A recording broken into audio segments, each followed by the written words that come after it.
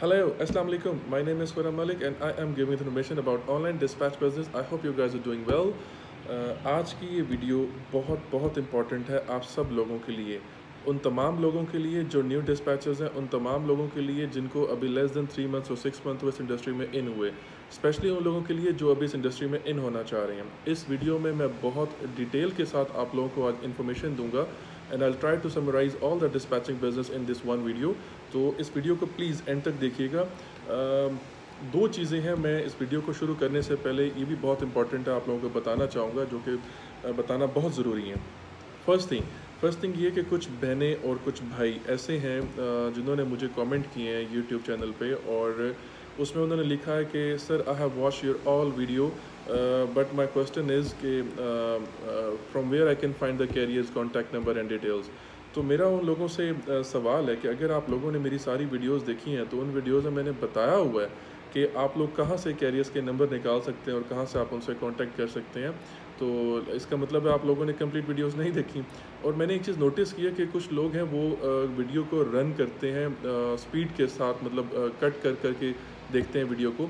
जिससे नुकसान ये होता है कि जो कोई इंपॉर्टेंट टिप्स होती हैं या इंपॉर्टेंट एक कोई पॉइंट होते हैं, वो मिस हो जाते हैं। और जब वो पॉइंट मिस हो जाते हैं तो फिर वही क्वेश्चन वो मुझसे दोबारा पूछते हैं कि, सर, ये कैसे हुआ और वो कैसे हुआ?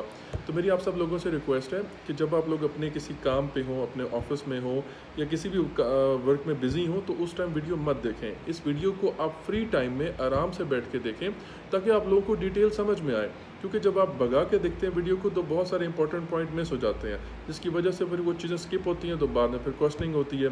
बट नेवर माइंड अगर आप लोग सवाल पूछेंगे मुझसे बार बार भी पूछेंगे तो मैं आंसर करूँगा।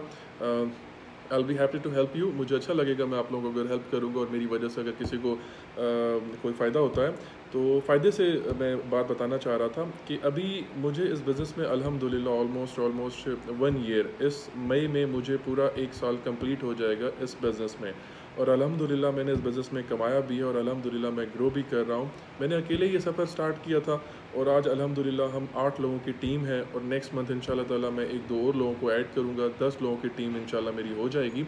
तो I try to increase my team every month मैं हर महीने कोई एक दो लोगों को इसमें ऐड करने की कोशिश कर रहा हूँ ताकि मेरी टीम भी ग्रो करे और uh, मैं ट्राई करता हूँ कि uh, जो फ्रेशर लोग हों जो बिल्कुल फ्रेशर हों और जो नीडी हों स्पेशली मैं उन लोगों को हायर करूँ ताकि uh, मुझे मज़ा नहीं आता उन लोगों को हायर करने में जो ऑलरेडी किसी कंपनी में बहुत अच्छी सैलरी पे जॉब कर रहे हों और वो उसे स्किप करके छोड़ के यहाँ स्विच करके मेरे पास आ जाएँ। क्योंकि आज अगर जो पर्सन आपके पास पाँच, दस हज़ार, पंद्रह हज़ार सैलरी के लिए आपके पास आ रहा है तो कल को after three months four month five months वो अगेन पाँच, दस, पंद्रह हज़ार के लिए किसी और के पास चला जाएगा। तो मुझे इससे प्रॉब्लम नहीं है कि कोई भी जॉब इन मेरे पास आ रहा है और जा रहा है, मुझे इससे कंसर्न नहीं है। लेकिन एटलीस्ट आपके पास इतना टाइम गुजारे कि एटलीस्ट एक साल, दो साल आपके पास देकर जाए ताकि आपने जो उसके ऊपर इन्वेस्ट किया जो उसको सिखाया जो उसको आपने ट्रेन किया या आपकी कंपनी में जो उसने एक्सपीरियंस एक्सपीरियंस गेन किया है तो उसका आपको कुछ फ़ायदा होना चाहिए। उसके बाद जाएँ कि कोई किसी का बाउंड नहीं होता, कोई किसी का फॉर एवर लाइफ सर्वेंट नहीं होता। लेकिन ये है कि अगर आप अपने एम्प्लॉयज़ का ख्याल रखेंगे, उन्हें आप अच्छी सैलरी प्लस अच्छे इंसेंटिव दे देंगे तो और आई डोंट थिंक सो कि वो फिर आपको कभी कहीं छोड़ कर जाएँगे। अब मेरी कंपनी में मैंने एक ऐसा इन्वायरमेंट क्रिएट किया हो कि हम एवरी मंथ एंड में हम यहाँ पार्टी भी करते हैं। मैं सैलरीज भी देता हूँ, मैं इंसेंटिव्स भी देता हूँ और हम हर इवेंट को सेलिब्रेट करते हैं। अभी लाइक इस मंथ में हमारी एनिवर्सरी होगी तो एनिवर्सरी को भी हम सेलिब्रेट करेंगे और इंशाल्लाह उसकी वीडियो भी मैं अपलोड करूँगा, आप लोग देखिएगा। तो एक साल मुझे हो जाएगा, अल्हम्दुलिल्लाह, और मैं कोशिश कर रहा हूँ कि मैं उन लोगों को हायर करूँ जो फ्रेशर हो, जो ज़ीरो ज़ीरो से स्टार्ट ले रहे हैं, जो फ़र्स्ट टाइम मतलब जॉब में आना चाह रहे हैं। तो उन्हें ट्रेन करने का मज़ा भी आता है और वो लोग जो है ना, वो दिल लगा के शौक से काम भी करते हैं। खैर मैं पॉइंट पे आता हूँ कि अब मैंने जब ये गाइड देना स्टार्ट किया ऑलमोस्ट फाइव या सिक्स मंथ बिफोर मैंने टिकटॉक पे स्टार्ट किया था लोगों को इस बिज़नेस के बारे में गाइड देना तो अब मेरे बाद कुछ लोग और इस इंडस्ट्री में इन हुए हैं और माशाल्लाह से मेरे साथ वो इन टच भी हैं, कोई व्हाट्सएप पे इन टच है, कोई टिकटॉक पे इन टच है, कोई फेसबुक पे इन टच है। तो लोगों से गपशप होती रहती है तो अच्छा लगता है ये जान के कि वो वो लोग इस इंडस्ट्री में आए हैं और उन्होंने भी कंपनीज़ बनाई हैं, उन्होंने आगे लोगों को हायर भी किया है, उन्होंने आगे रोज़गार भी क्रिएट किया है। और अभी मैं एक दो लोगों से मेरी बात हो रही थी मुझे सुन के बहुत खुशी हुई बहुत खुशी हुई। अभी लाइक like, मुझे वन ईयर हो गया। वन ईयर वन ईयर में जिस स्टेज पे मैं हूँ और जो लोग न्यू इस इंडस्ट्री में आए हैं मेरे आने के भी बाद वो अल्हम्दुलिल्लाह मैं उसको इसलिए अल्हम्दुलिल्लाह कह रहा हूँ कि अल्लाह ने उनको नवाजा है, अल्लाह ने उनको मतलब वो मेरे से भी आगे चले गए हैं और माशाल्लाह मैं खुश हूँ, मुझे इस पर कोई हसद नहीं है, कोई जालस नहीं है। अलहमदिल्ला मैं भी एवरी मंथ ग्रो कर रहा हूँ, मैं अपने एक प्रोसीजर के तहत स्लो एंड स्टडी इसको ग्रो कर रहा हूँ। कुछ लोग हैं उनके पास हैवी इन्वेस्टमेंट थी, उन्होंने आके फौरी इन्वेस्ट किया, उन्होंने फौरी बिज़नेस सेटअप बनाया, अपनी कंपनी रजिस्टर्ड की और उन्होंने लोगों को हायर किया, लोगों को हायर करके उन्होंने अपना बिज़नेस स्टार्ट कर लिया। तो मुझे बहुत खुशी हुई जान के कि कुछ लोग हैं, माशाल्लाह से, वो अभी उन्हें तीन महीने या चार महीने हुए हार्डली इस बिज़नेस में इन हुए। और कोई eight thousand dollar per month earn कर रहा है, कोई टेन थाउज़ेंड अर्न कर रहा है, कोई फाइव थाउज़ेंड डॉलर अर्न कर रहा है। तो ये बहुत खुशी की बात है कि इसमें लोगों को आना चाहिए। अब देखिए, उनके आने से, मैं जब इस फ़ील्ड में आया तो मेरे से पहले बहुत सारी डिस्पैचिंग कंपनीज़ काम कर रही थी। मेरे आने से किसी को कोई कोई फ़र्क नहीं पड़ा। और मेरे आने के बाद और बहुत सारे लोग मेरे जानने वाले जिन्होंने मुझसे कुछ गाइड ली, वो लोग भी, जो टिकटॉक फॉलोअर थे, वो लोग भी, कुछ लोग यूट्यूब पे लर्न कर रहे थे, वो लोग भी। तो उन लोगों ने भी इस बिज़नेस को स्टार्ट किया और उनके आने से मुझे फ़र्क नहीं पड़ा। कोई किसी का नसीब नहीं खाता, कोई किसी के हक का पैसा नहीं खाता। हर इंसान को उसका नसीब मिलता है, बस आप अपनी अपनी डोमेन में रह के मेहनत करते रहें। अभी कल परसों मैं एक डॉक्यूमेंट्री देख रहा था, उसमें डॉक्यूमेंट्री में बताया जा रहा था कि पाकिस्तान में जो इस टाइम इस टाइम जो ऑनलाइन काम कर रहे हैं और जो सर्विसेज़ के अगेंस्ट पैसे चार्ज कर रहे हैं, या फ्री हम कह लें कि जो फ्री लांसर्स हैं, वो इस टाइम पाकिस्तान में पर ईयर पाँच करोड़ डॉलर 50 मिलियन डॉलर का रेवेन्यू जनरेट कर रहे हैं एवरी ईयर पाँच करोड़ का मतलब है कि एवरी ईयर एवरी मंथ जो है वो 40 टू फोर्टी फाइव लाख यानी four million to 4.5 million dollar per month जो है रेवेन्यू जनरेट हो रहा है पाकिस्तान में, जो कि बहुत बहुत कम है, ज़्यादा नहीं है, क्योंकि India per year 100 billion dollar revenue generate कर रहा है, सौ अरब डॉलर रेवेन्यू जनरेट कर रहा है और उसके अकॉर्डिंगली हम लोग बहुत पीछे हैं। अगर हम उसका इंडिया का वन परसेंट भी ग्रेप करते हैं तो वो वन बिलियन डॉलर बनता है, लेकिन हम लोग जो हैं, वो पाँच करोड़ डॉलर रेवेन्यू जनरेट कर रहे हैं। तो पाँच करोड़ जो है, अगर इंडिया के अकॉर्डिंगली देखें तो वो zero point zero five percent बनता है क्योंकि कि बहुत कम है। तो मैं इसलिए सब लोगों को मोटिवेट करता रहता हूँ कि यार आप लोग आओ, देखें मेरे कुछ जानने वाले हैं, वो बहुत अच्छे भाई हैं। उन्होंने आके काम शुरू किया। एक एक भाई ने मुल्तान में डिस्पैचिंग कंपनी बना ली, एक ने पेशावर में बना ली, एक ने पिंडी में बना ली एक दो ने लाहौर में बना ली, एक ने फैसलाबाद में बना ली। तो जिन लोगों ने बनाया और माशाल्लाह से वो वो five thousand six thousand dollar earn कर रहे हैं, अभी उनको थ्री मंथ्स फोर मंथ्स हुए हार्डली इस इंडस्ट्री में इन हुए। तो वो अगर अर्न कर सकते हैं, वो अगर कमा सकते हैं तो आप लोग क्यों नहीं? आप लोग भी करेंगे काम। मैं कहूँगा सारा पाकिस्तान ये काम करे। और अभी कुछ दिन पहले मुझे एक आ, मैंने एनालिटिक्स देख रहा था अपने यूट्यूब वीडियोस के तो उसमें कुछ लोग मुझे यूएई से भी वॉच करते हैं कुछ लोग मुझे आ, इंडिया से भी वॉच करते हैं कुछ लोग मुझे सऊदी अरेबिया से भी वॉच करते हैं तो सबको सलाम। आ, मुझे किसी से कोई प्रॉब्लम नहीं है यूएई में जो लोग बैठे हैं वो भी भाई हैं तो वो अगर सीखना चाहते हैं वो भी सीखें। मुझे इंडिया से एक भाई ने कॉमेंट भी किया तो उन्होंने मुझे कहा कि अगर मैं ये लर्न करना चाहूँ तो आप मुझे गाइड देंगे। तो मैंने उन्हें भी यही कहा। मैंने कहा, बिल्कुल यार, आप लर्न करना चाहते हो, करो। मैं आपको भी गाइड दूँगा, इंशाल्लाह, मुझे कोई प्रॉब्लम नहीं है। मेरा हक कोई नहीं खा सकता और मैं किसी का हक नहीं खा सकता। तो उसमें यह है कि जो मेरे नसीब का लिखा है, वो मुझे मिलेगा, इंशाल्लाह। बस मुझे उसके लिए थोड़ी सी मेहनत करनी है और मुझे अल्लाह ताला उसका रिवॉर्ड देगा। अल्लाह ने कहा, आप मेहनत करो, उसका सिला मैं आपको दूँगा। तो अगर हम इंडिया देखें इंडिया हमारा कोई इंडिया की जो अवाम है ना, वो हमारी दुश्मन नहीं है। पाकिस्तानी अवाम जो है ना, वो भी इंडिया के दुश्मन नहीं है। हम लोग क्या थे? हम लोग आज से सत्तर साल पहले एक ही मुल्क था। हमें डिवाइड किया गया अलग अलग कंट्रीज़ में हम लोग हो गए। अगर हम लोग देखें तो पाकिस्तान में इस टाइम बाईस करोड़ अवाम है, जो कि एक मिक्स अचार है, जिसके अंदर सिख भी हैं, जिसके अंदर क्रिश्चियन भी हैं, जिसके अंदर मुस्लिम भी हैं, जिसके अंदर हिंदू भी हैं। सब लोग मिल के हम 22 करोड़ आवाम टोटल पाकिस्तान की बनती है। बट डू यू नो कि इंडिया के अंदर मुस्लिम्स कितने हैं? इंडिया की आबादी इस टाइम 100 करोड़ से ज़्यादा है। 100 करोड़ से ज़्यादा इंडिया की आबादी है। लेकिन इंडिया के अंदर 30 करोड़ से ज़्यादा सिर्फ़ मुसलमान पाए जाते हैं। पाकिस्तान में 22 करोड़ अवाम एक मिक्स अचार है, जबकि इंडिया में 30 करोड़ से जायद सिर्फ़ मुसलमान पाए जाते हैं, जो जो इंडिया में रहते हैं। तो मुझे किसी से कोई प्रॉब्लम नहीं है, जो भी लर्न करना चाहता है, आए, क्योंकि अल्लाह ने फरमाया, दूसरों का भला करूँ, मैं तुम्हारा भला करूँगा तो मेरी ख्वाहिश है कि मैं सब लोगों का भला करूँ, मेरा भला अल्लाह करेगा इन ताला। चलें, हम पॉइंट पे आते हैं तो आज की वीडियो जो है, बहुत इंपॉर्टेंट है, इसको प्लीज़ एंड तक देखिएगा, ज़रूर एंड तक देखिएगा।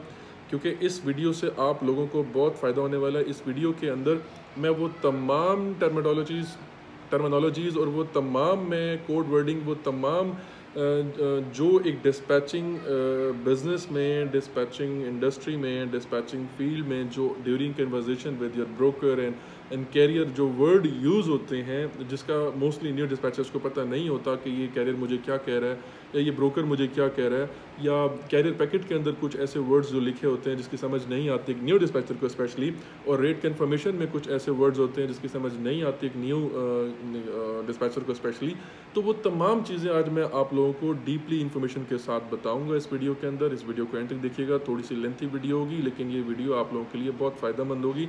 इसे स्किप करके मत देखना स्किप करके देखेंगे तो आपका नुकसान हो जाएगा। तो ट्रस्ट मी क्योंकि ये वीडियो बहुत इंपॉर्टेंट है, इसके अंदर बहुत इंपॉर्टेंट चीज़ें हैं। मैं from point A to point G आज ए टू जी इस बिज़नेस की तमाम डिटेल आप लोगों के सामने रख दूँगा कि ये बिज़नेस क्या है इस बिज़नेस के अंदर क्या होता है इस बिज़नेस के अंदर आ, कौन से टर्म्स और कौन से कोड्स कौन से वर्डिंग यूज़ होती है कौन सी लैंग्वेज यूज़ होती है कैरियर से क्या बात होती है ब्रोकर से क्या बात होती है। तो ये जानना आप लोगों के लिए बहुत ज़रूरी है बहुत इंपॉर्टेंट है क्योंकि अगर इस फ़ील्ड इस इंडस्ट्री में आप लोगों अंदर रहना है तो भाई ये जब नहीं पता होगा तो काम कैसे करोगे आप लोग? अच्छा ये काम लड़के भी कर सकते हैं, काम लड़कियाँ भी कर सकती हैं। बट आई लाइक के इस टाइम को 70 परसेंट जो मेरे सब्सक्राइबर्स हैं और जो टिकटॉक पे फॉलोअर्स हैं, वो मेल हैं और 25 से 35 एज के इन बिटवीन है। तो ये एक यूथ है जो कि इस काम में आना चाह रही है। मोस्ट वेलकम सब लोग आएँ, सब लोग काम करें और इन ताला आप सब लोग इसमें अपने अपने नसीब की रोज़ी कमाएँगे। और जो बहनें भी काम करना चाहती हैं, कुछ बहनें हैं जो मेरे व्हाट्सएप ग्रुप में भी ऐड हैं, जो टिकटॉक पर मुझसे क्वेश्चन करती हैं। तो मैं उन्हें भी सबको आंसर्स करता हूँ तो बहनें भी अगर ये काम करना चाहती हैं तो करें। बिल्कुल इस काम में मेल फीमेल में कोई फ़र्क नहीं है, क्योंकि यूएसए के अंदर भी मेल ड्राइवर भी हैं और फीमेल ड्राइवर भी हैं तो सब लोग काम कर रहे हैं तो आप लोग भी काम करें। देखिए, पैसा कमाने में कोई शर्म नहीं, कोई किसी को नहीं खिलाता। आप खुश भी हैं, तब भी दुनिया आपसे परेशान रहेगी कि खुश क्यों हैं इतने। आप परेशान भी होंगे, तब भी दुनिया आपके साथ जो है ना, आप पे हंसेगी, कहेगी, ये परेशान है, चलो, शुक्र है, परेशान है। तो इसलिए आपने जो कुछ करना है, अपनी ज़ात के लिए खुद करना है। इस दुनिया में आपकी अपनी ज़ात के अलावा आपके साथ कोई वफ़ादार नहीं है। आप खुद अपनी ज़ात से अगर वफ़ादार नहीं हो तो फिर कोई दुनिया में आपसे वफ़ादार नहीं है। तो जो भी करना है, आपने खुद करना है। आजकल तो बहन भाई भी दूसरे के नहीं होते। जब बड़े हो जाते हैं, बच्चे होते हैं तो सब एक साथ होते हैं। जब बड़े हो जाते हैं तो उसके बाद ना बहन भाई का होता है, ना भाई बहन का होता है। तो इसलिए जो भी करना है, आप लोगों ने खुद ही अपने लिए करना है। तो मैं मैं सिर्फ़ आप लोगों को गाइड दे सकता हूँ। और मेरी कोशिश है कि मैं मैं चाहता हूँ, मेरी ख्वाहिश है कि पाकिस्तान के अंदर इतना बंदा निकले, ऑनलाइन बिज़नेस के लिए इतना बंदा निकले, आगे की दुनिया सारी डिजिटल है, सारी डिजिटल है। अगर आप लोग आज भी नहीं संभलेंगे ना तो आने वाले दौर में आप लोग पछताएँगे। अब पिछले सत्तर साल से निकल आए, अब दुनिया चेंज हो रही है, अब दुनिया डिजिटल हो रही है। आने वाले दिनों में हर चीज़ डिजिटल हो जाएगी, आपकी परचेजिंग, आपकी बाइंग, आपकी सेलिंग सब डिजिटल, ऑनलाइन हो जाएगी। तो इसलिए अभी भी टाइम है, अभी भी टाइम है इस इंडस्ट्री में आ जाएँ, इस इंडस्ट्री को पे काम करें। आप लोग आने वाले दिनों में अगर नहीं सीखेंगे तो आप लोग पछताएँगे। आप लोगों का अपना नुकसान होगा। चलें, हम स्टार्ट करते हैं अपनी डिटेल को, इस बिज़नेस की डिटेल को, जो कि बहुत इंपॉर्टेंट है। अच्छा वैसे आज सैटरडे या सैटरडे वाला दिन, क्योंकि मेरे पास थोड़ा टाइम होता है। और बल्कि एक और सॉरी मैं आप लोगों को बताना चाह रहा था, मेरे माइंड से स्किप हो जाएगा। कुछ लोग हैं, वो मुझसे बार बार कहते हैं कि हमने मीटिंग करनी है आपसे मिलना चाहते हैं। ठीक है भाई, अब मैं आज से मैं ओपनली ये बात अनाउंस करता हूँ कि कोई भाई या कोई बहन, कोई मेल या कोई फ़ीमेल जो मुझसे मिलना चाहता है मीटिंग करना चाहता है एवरी सैटरडे मैं अपने ऑफ़िस में टू और थ्री आवर्स के लिए आता हूँ कुछ काम करने के लिए, क्योंकि सैटरडे संडे हमारा ऑफ़िस क्लोज़ होता है स्टाफ को छुट्टी होती है। मैं आता हूँ कुछ काम करने के लिए, कुछ डॉक्यूमेंटेशन कुछ वर्क्स और स्पेशली आप लोगों की वीडियो बनाने के लिए। तो अगर किसी भाई बहन ने मुझसे मिलना है तो मेरे पास सैटरडे का दिन ऑफ़ होता है। संडे मैं अपनी फैमिली को देता हूँ, और सैटरडे जो होता है वो फ्री होता है। सैटरडे को अगर किसी ने मिलना है तो मोस्ट वेलकम लाहौर में फैसल टाउन में मेरा ऑफ़िस है। और अगर किसी ने आना हो तो मोस्ट वेलकम आए मिल ले और जो डिस्कस करना है कर ले। मुझे खुशी होगी आप लोगों को हेल्प करके आप लोगों को अगर मेरी ज़ात से कोई फ़ायदा पहुँचेगा तो मुझे खुशी होगी मुझे उसमें कोई प्रॉब्लम नहीं है। तो बस आप लोग ये काम करो यार ये काम स्टार्ट करो इस काम को जो है ना इसमें डिले मत करो जितना डिले करोगे आप अपना नुकसान करते जाओगे। अच्छा जी आ, हम स्टार्ट करते हैं इस बिज़नेस की फ़र्स्ट पॉइंट से।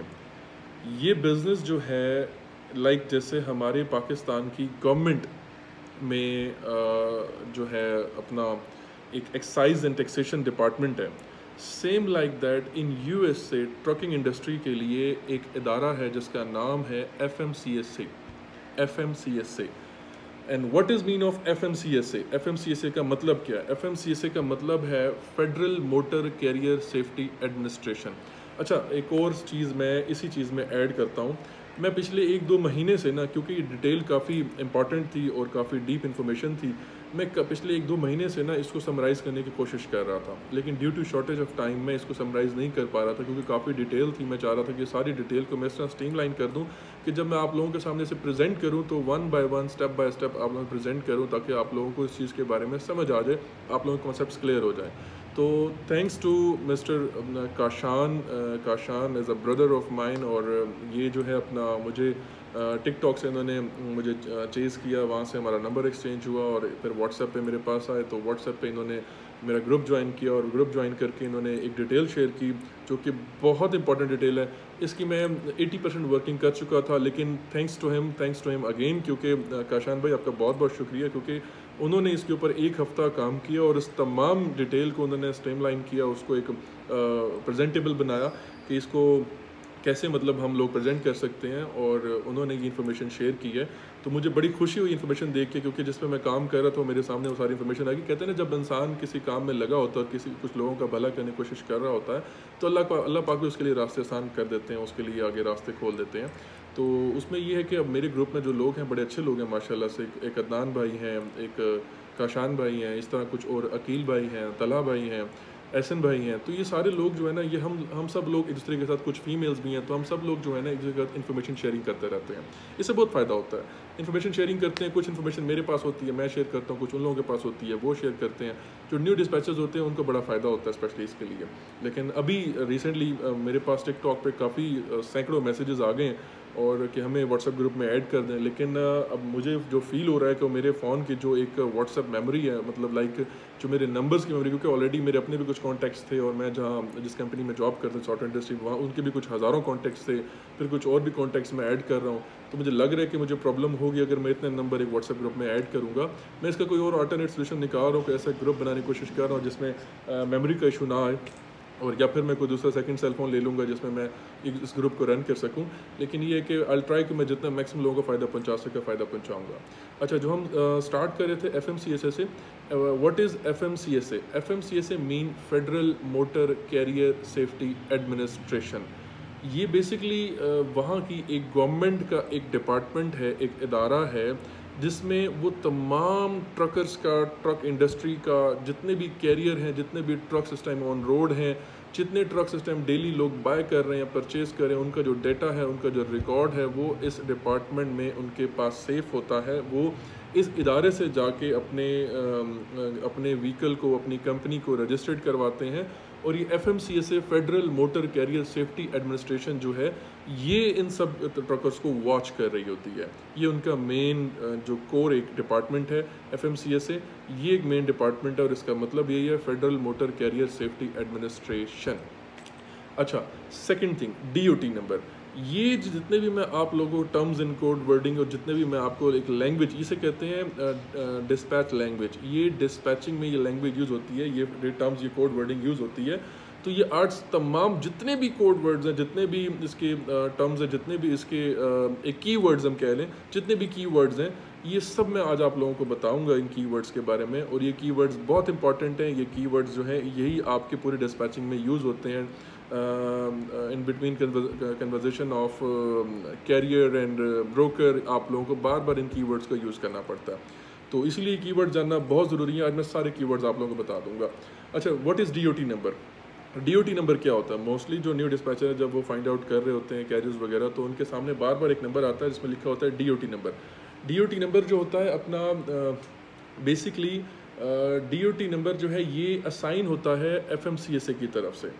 एफ़ की तरफ़ से एक डीओटी नंबर जो होता है ये असाइन होता है कमर्शियल व्हीकल्स को टू रजिस्टर्ड कमर्शियल व्हीकल ये डीओटी नंबर कमर्शियल व्हीकल को रजिस्टर्ड करने के टाइम पे उन्हें ये इशू होता है फ्रॉम एफ़ से federal motor carrier safety administration की तरफ़ से डीओटी नंबर कैरियर्स को इशू होता है। ये बेसिकली डीओटी नंबर के थ्रू जो है वो वो क्रैश इन्वेस्टिगेशन और इंस्पेक्शन के दौरान वो उस डीओटी नंबर को यूज़ करते हैं। इस डीओटी नंबर की एक वैलिडिटी होती है, जो कुछ टाइम के बाद एक्सपायर भी होती है। इसको रिन्यूअल भी करवाना पड़ता है। सम टाइम सम ब्रोकर जो है वो डीओटी के बारे में पूछते हैं। जब डीओटी अगर एक्सपायर हो तो फिर वो यानी इट मीन्स कि उसकी जो इंस्पेक्शन है हम यहाँ अगर पाकिस्तान में इसको देखें आ, मैं आपको ना पाकिस्तान के साथ कंपेयर इसलिए करता हूँ क्योंकि हम लोग पाकिस्तान में रहते हैं। तो हम लोगों के सामने जो ट्रक्स रोड पे चल रहे होते हैं या हम लोग जो पाकिस्तान के ट्रक्स के बारे में जानते हैं मैं उनके साथ थोड़ा सा आप लोगों को कंपेयर कर करके बताऊँगा ताकि आप लोगों का कॉन्सेप्ट जो है ना वो ईज़िली क्लियर होता जाए। पाकिस्तान में एक डिपार्टमेंट है VICS V I C S VICS ये एस जो है ना, ये व्हीकल इंस्पेक्शन है। व्हीकल इंस्पेक्शन इसे कहते हैं। यानी विक्स जो है, ये बेसिकली एक फिटनेस सर्टिफिकेट इशू करता है तमाम ट्रक्स को कमर्शियल ट्रक्स को, तमाम कमर्शियल बसेस को।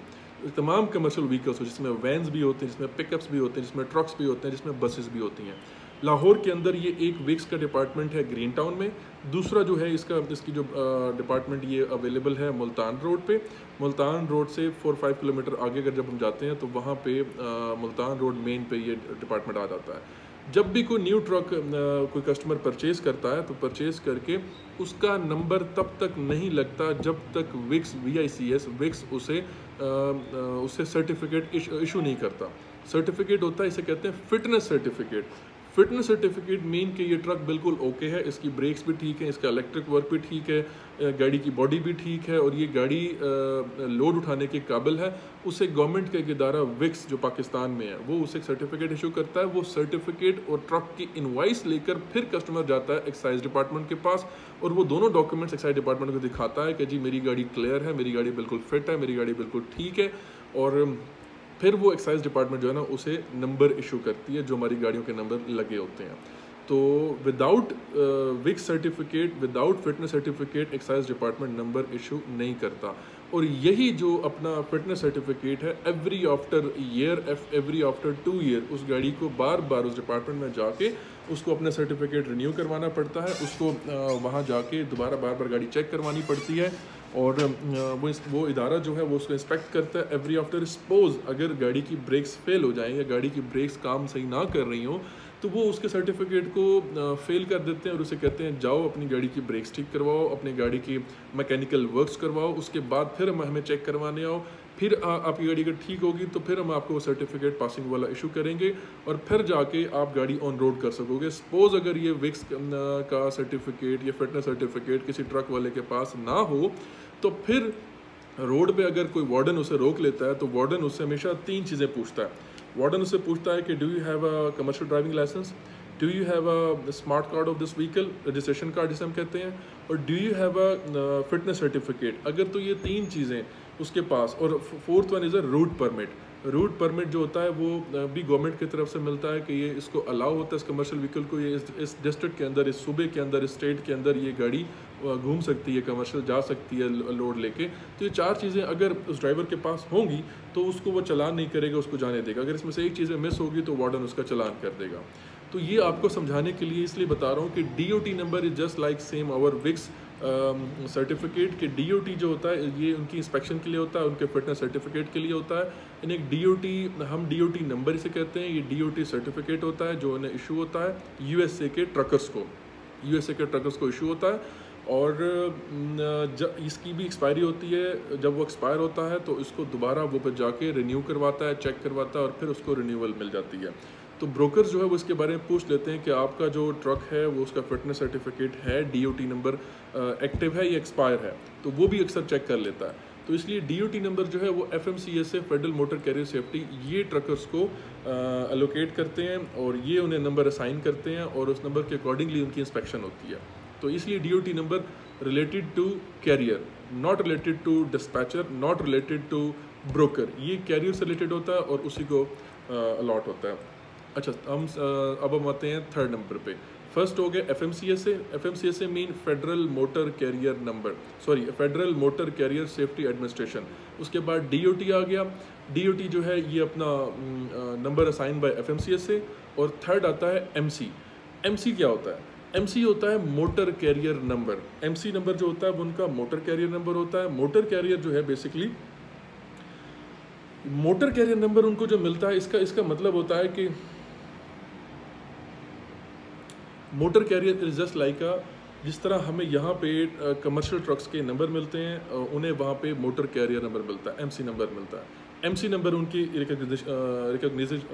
रिकोगनाइजेशन होती है। सॉरी माय टंग ट्विस्ट तो आ, उनकी पहचान होती है उनकी आ, उनके यूँ कह लें उन्हें ट्रैक करने के लिए होता है उनकी गवर्नमेंट उनको ट्रैक करती है थ्रू उनके एमसी लेटर एमसी नंबर तो एमसी नंबर उनकी पहचान होती है तो एमसी नंबर भी ये मोटर कैरियर नंबर होता है और ये उन्हें मिलता है. अच्छा फोर्थ थिंग है C O I C what is C O I C O I means certificate of insurance certificate of insurance जो होता है ये बेसिकली ये भी कैरियर से रिलेटेड होता है ट्रकर से रिलेटेड होता है. अब ये जो सर्टिफिकेट ऑफ़ इंश्योरेंस होता है ये उन्हें इंश्योरेंस कंपनी इशू करती है। ब्रोकर कभी भी आपको without C O I without certificate of insurance load नहीं देगा।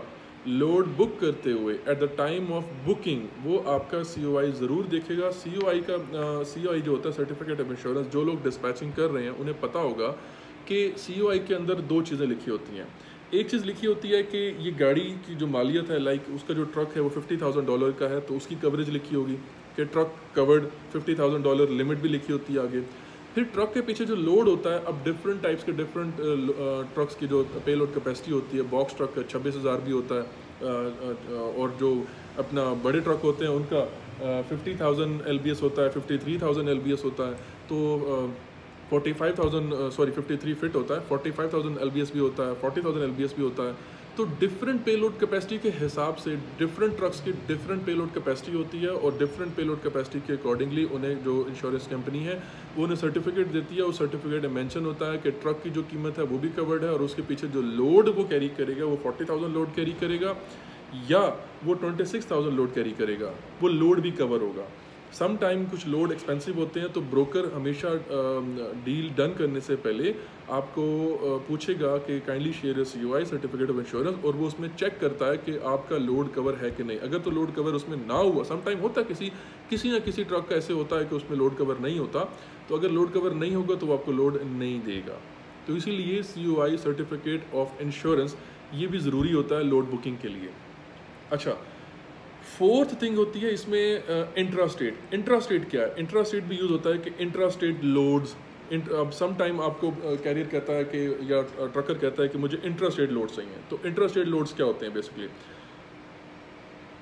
intra state loads mean you need to operate within same state and same region यानी इसका मतलब ये होता है कि आपने सेम रीजन के अंदर रह के काम करना, आपने रीजन से बाहर नहीं जाना, आपने अपने स्टेट से बाहर नहीं जाना।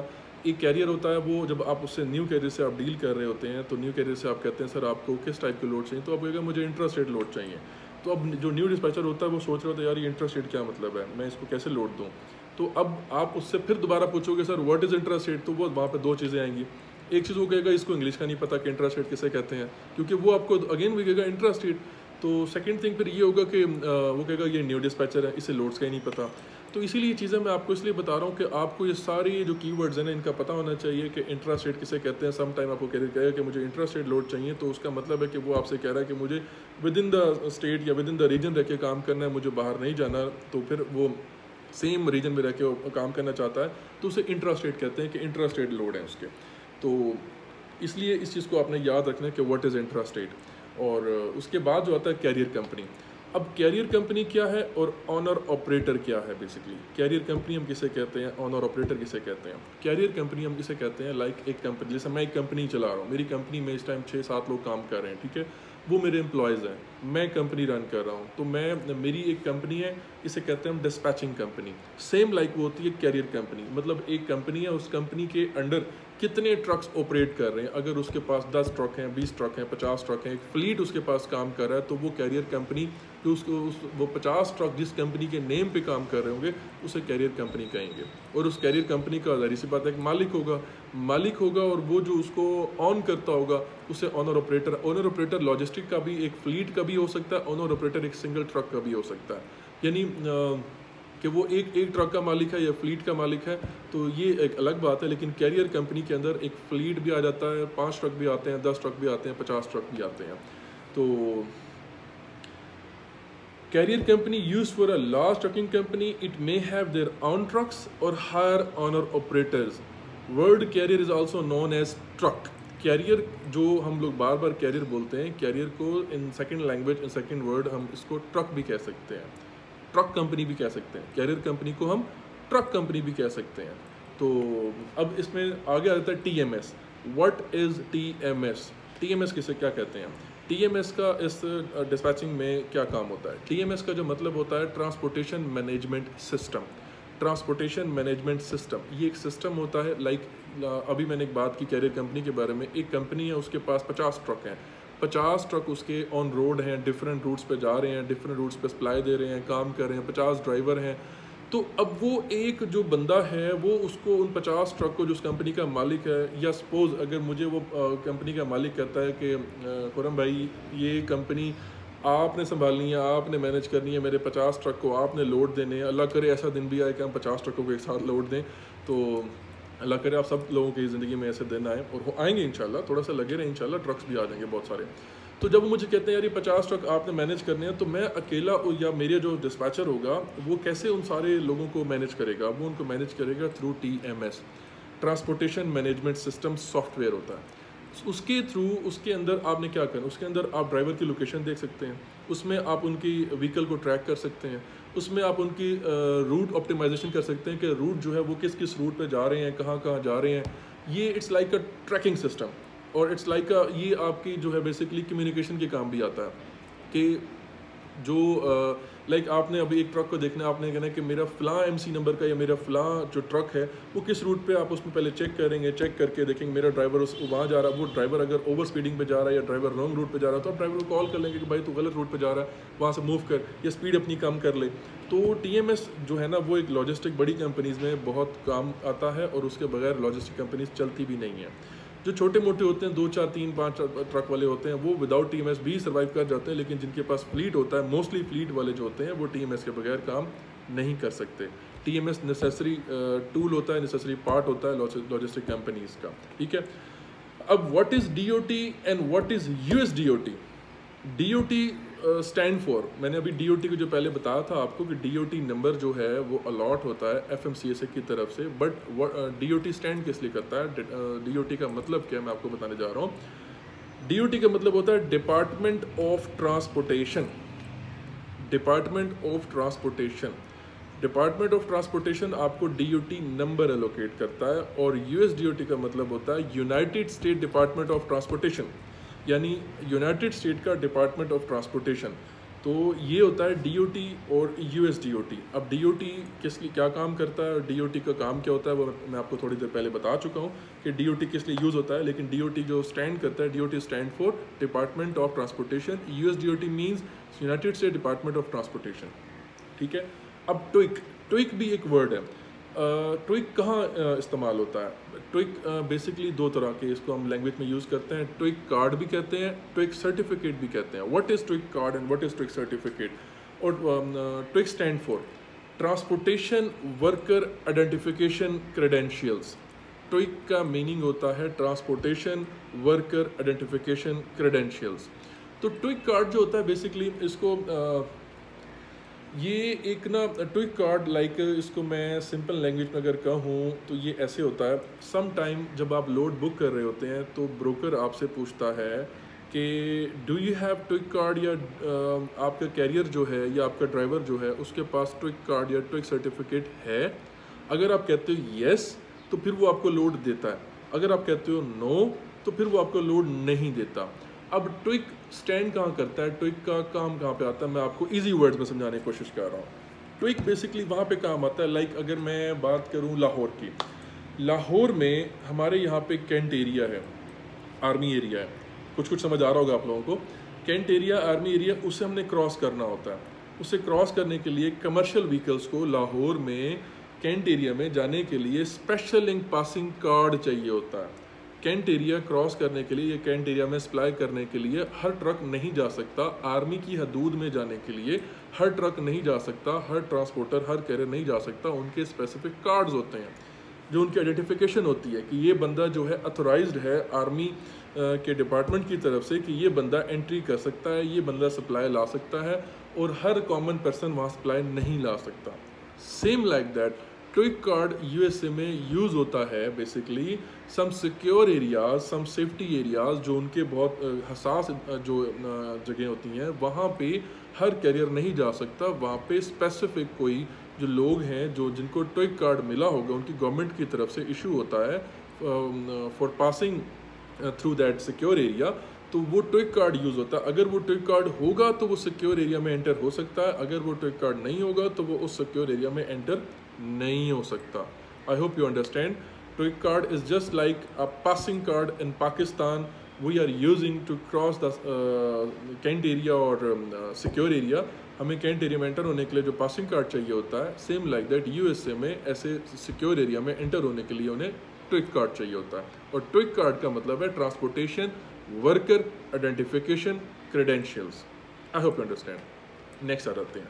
एक वर्ड एक और यूज़ होता है कीवर्ड उसे कहते हैं ओ टी आर डिस्पैचिंग में। मोस्टली ओ टी आर लोग कहते हैं। What is O T R O T R का मतलब क्या? है ओ टी आर का मतलब होता है over the road over the road O T R over the road इसका मतलब होता है means long drive over the week coast to coast अब ओवर द ओ का मतलब सिंपल है ओवर द रोड इसको ज़्यादा आपने सीरियस नहीं लेना बस ये ओवर द रोड ही होता है और बस ये ओ टी आर बहुत कम जगह पर यूज़ होता है, लेकिन ओ टी आर जब कहीं आ जाए की वर्ड तो उसका मीनिंग अपने माइंड में रखना आपने ओवर द रोड ठीक है? अब दूसरी हम आगे आ जाते हैं। सम टाइम आपको कैरियर कहता है। जब आप न्यू कैरियर ये जो मैं बता रहा हूँ ना कि कीवर्ड्स ये कीवर्ड्स मैं बता रहा हूँ उन लोगों के लिए, इसमें सेल्स वाले भी सुन लें, इसमें डिस्पैचर्स भी सुन लें, ठीक है? अब सेल्स वाले ने एक कैरियर निकाल के डिस्पैचर को दे दिया कि जी ये कैरियर के डॉक्यूमेंट्स हैं and he needs a load and he needs our dispatching services तो डिस्पैचर जो है वो उसे अप्रोच करता है और उसको कहता है yes sir what kind of loads you need या अपना उसे वेलकम करता है। तो फिर वो उसे एक वर्ड कहता है, वो कहता है I need a regional loads I need a regional loads what is regional loads regional load जब आते हैं स्पेशली अब न्यू डिस्पैचर है, वो थोड़ा सा परेशान हो जाएगा। वो कहेगा रीजनल लोड्स क्या चीज़ है? और उसके बाद फिर जो अगर सेल्स वाला भी सुनेगा रीजनल तो भी, जो न्यू न्यू लोग होंगे, जो एक्सपीरियंसड होंगे, जो पुराने होंगे, शायद वो रीजनल के बारे में जानते हो, लेकिन कुछ एक्सपीरियंस लोग भी इसके बारे में नहीं जानते। तो इसलिए आज मैं आप लोगों को बता रहा था बार बार कि एक्सपीरियंसड और नॉन एक्सपीरियंसड और फ्रेशर वो सब इस वीडियो को देखें, सबको बड़ी काफ़ी इन्फॉर्मेशन मिलेगी। तो रीजनल लोड का मीन्स क्या होता है? रीजनल लोड्स का मीन होता है दो truck drivers who prefer day trip और to night trip on road operate in few states यानी कि वो रीजनल लोड्स का मतलब होता है कि एक रीजन के अंदर रहते हुए वो कुछ स्टेट्स के अंदर वर्क कर सकते हैं डे और नाइट जाने के लिए। मतलब इसको हम इस तरह कह सकते हैं कि लाइक अगर हम पाकिस्तान में रूट परमिट मिलता है हमारे ट्रकर्स को। रूट परमिट मिलता है और जब कभी आप किसी भी ट्रक वाले का ना अगर कभी किसी ट्रक वाले से तफाक को मिलने का पाकिस्तान में तो उसको यार काइंडली शो यार रूट परमिट उसका रूट हमें देखेंगे ना तो उसके रूट परमिट पर लिखा होगा आ, कुछ रूट परमिट के ऊपर उसे कुछ शहरों के नाम लिखे होंगे कुछ सिटीज़ के नेम लिखे होंगे कि अब लाइक लाहौर का अगर कोई रूट परमिट बनवाता है कोई ट्रकर तो उसके रूट परमिट पर लिखा होगा कि ये शेखुपुरा ट्रैवल कर सकता है साहिवा लुकाड़ा पतोकी लाहौर यानी इसके सराउंडिंग्स में वो वर्क कर सकता है। लेकिन वो खैबर पख्तूनख्वा नहीं जा सकता वो सिंध नहीं जा सकता बलोचिस्तान नहीं जा सकता। वहाँ जाने के लिए उसे अलग स्पेशल अप्रूवल चाहिए होगी फ्रॉम गवर्नमेंट डिपार्टमेंट तो सेम लाइक दैट रीजनल दो truck driver who prefer day trip और night trip on road and operates in few states जो चंद स्टेट्स के अंदर काम करना चाहते हों और डे नाइट के ट्रिप्स लेना चाहते हों तो वो रीजनल बेसिकली uh, इसमें स्टैंड करता है ठीक है? तो रीजनल जब आपको कोई कहे ना कि आई नीड रीजनल लोड्स तो फिर आप वहाँ पे समझ जाएँ कि वो मतलब अपना स्टेट के अंदर रह के सम सॉरी रीजन के अंदर रह के सम स्टेट्स में मूव करेगा और सम स्टेट्स में मूव करेगा और उसको हम और भी ज़्यादा इजी कर सकते हैं जब आप उसे कहते हैं एक वर्ड होता है sir do you need long haul loads और short haul do you are you long hauler और शॉर्ट हॉलर वहाँ पे जब वो आपको कहेगा ना कि हम शॉर्ट हॉलर लॉन्ग हॉलर तो वहाँ जाके कुछ चीज़ें, कुछ क्या सारी चीज़ें क्लियर हो जाती हैं, क्योंकि लॉन्ग हॉलर जो होता है, उसकी लिमिट नहीं होती। आप उसको हज़ार माइल पे ले जाएँ, दो हज़ार माइल पे लोड दे दें। जो शॉर्ट हॉलर होते हैं ना, वहाँ जाके थोड़े से डिस्पैचर डिस्टर्ब होते हैं, क्योंकि उसको फिर लिमिटेड जो है ना माइल्स के अंदर रह के काम करना होता है। और जो शॉर्ट हॉलर होते हैं, वो मोस्टली टू फिफ्टी माइल और अंडर थ्री हंड्रेड माइल्स रह के वो काम करते हैं, इससे लॉन्ग वो नहीं जाते। और टू फिफ्टी और थ्री हंड्रेड माइल्स के लोड मिल जाते हैं। अच्छा सम टाइम जो शॉर्ट हॉलर होते हैं, उनको भी ज़्यादा फ़ायदा होता है। लाइक अभी कल हमने इस टाइम मार्केट में टू डॉलर पर माइल का जो लोड है, वो निकालना बड़ा मुश्किल है। ब्रोकर्स ने, काफ़ी ब्रोकर्स ने जो है ना, वो, जो है ना, बहुत गंदे रेट्स ऑफ़र करने शुरू कर दिए हैं लोड बोर्ड पे।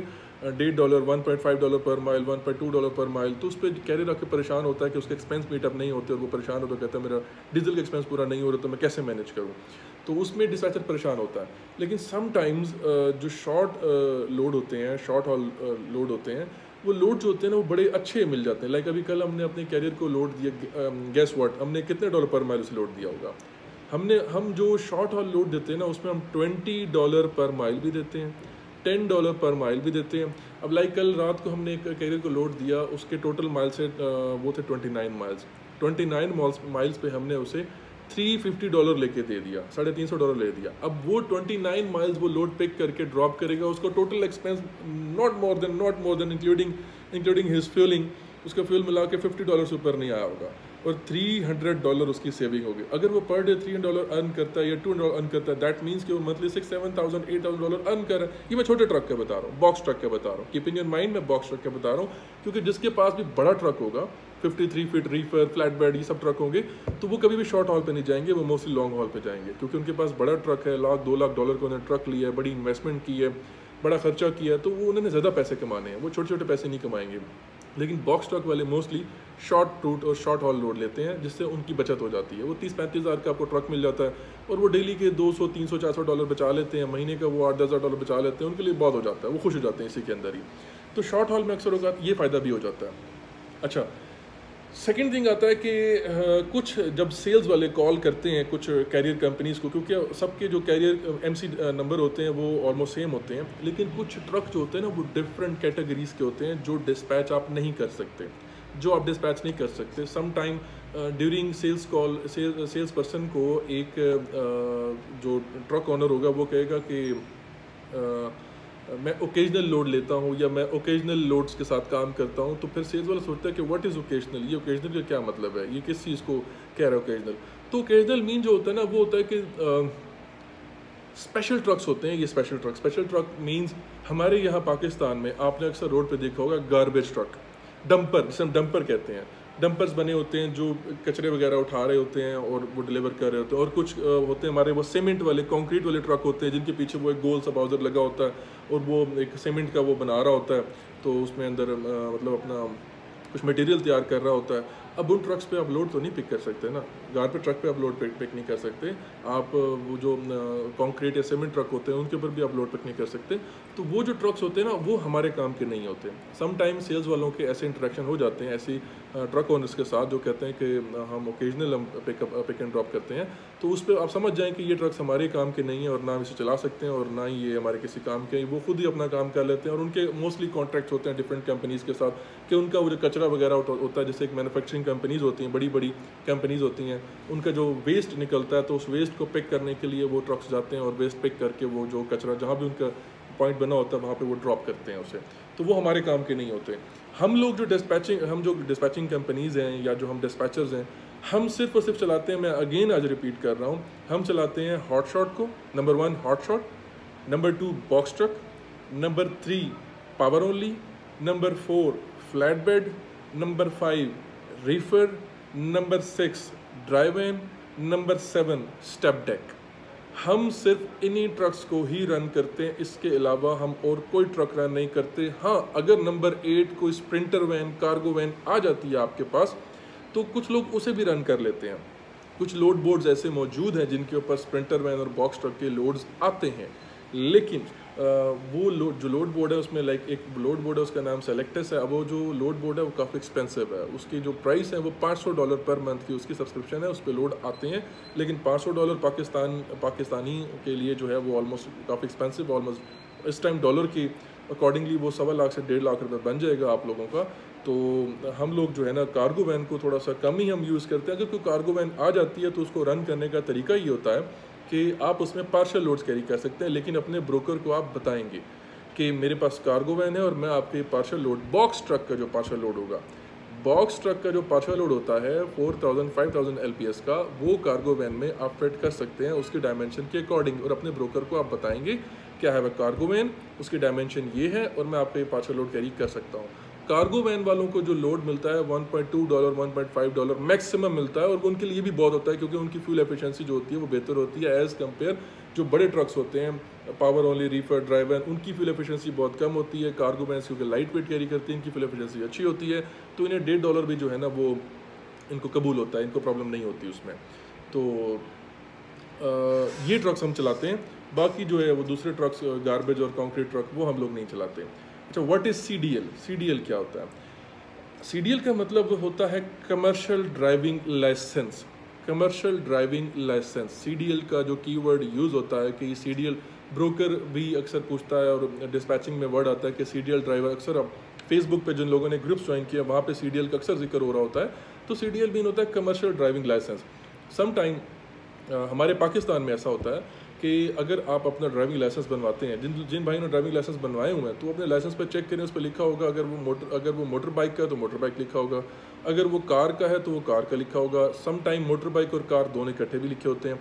लेकिन जब आप कमर्शियल में आ जाते हैं, आप कमर्शियल लाइसेंस जब बनवाते हैं तो उसमें उसी लाइसेंस के अंदर एक एडिशन आ जाता है, उस पर लिखा होता है कि L C V L C का मतलब होता है लाइट कमर्शियल व्हीकल यानी आपको गवर्नमेंट अलाउ कर रही है कि आप light commercial vehicle light commercial vehicle में हमारे मिनी ट्रक्स आते हैं। पाकिस्तान में लाइक मजदा हो गए, या जितने भी छोटे ट्रक होते हैं पिकअप्स हो गई पिकअप्स भी लाइट कमर्शियल व्हीकल में आ जाती है। पिकअप्स हो गई मजदाज हो गए, छोटे मिनी ट्रक्स हो गए, जो फोर फाइव थाउज़ेंड के जी तक फोर फाइव टन तक जो वेट कैरी करते हैं, वो सब लाइट कमर्शियल में आ जाते हैं। और उससे ऊपर जो टेन थाउज़ेंड ट्वेंटी थाउज़ेंड या दस टन बीस टन जो पे लोड कैपेसिटी के जो ट्रक्स होते हैं, वो फिर उनके लाइसेंस पर लिखा होगा H C V heavy commercial vehicle यानी गवर्नमेंट आपको अलाउ कर रही है कि आप हैवी ट्रक्स भी चला सकते हैं। उनके लाइसेंस अलग बनते हैं। एल के ट्रक्स मोस्टली एल के लाइसेंस बन जाते हैं, लेकिन एच के लाइसेंस थोड़े से मुश्किल बनते हैं।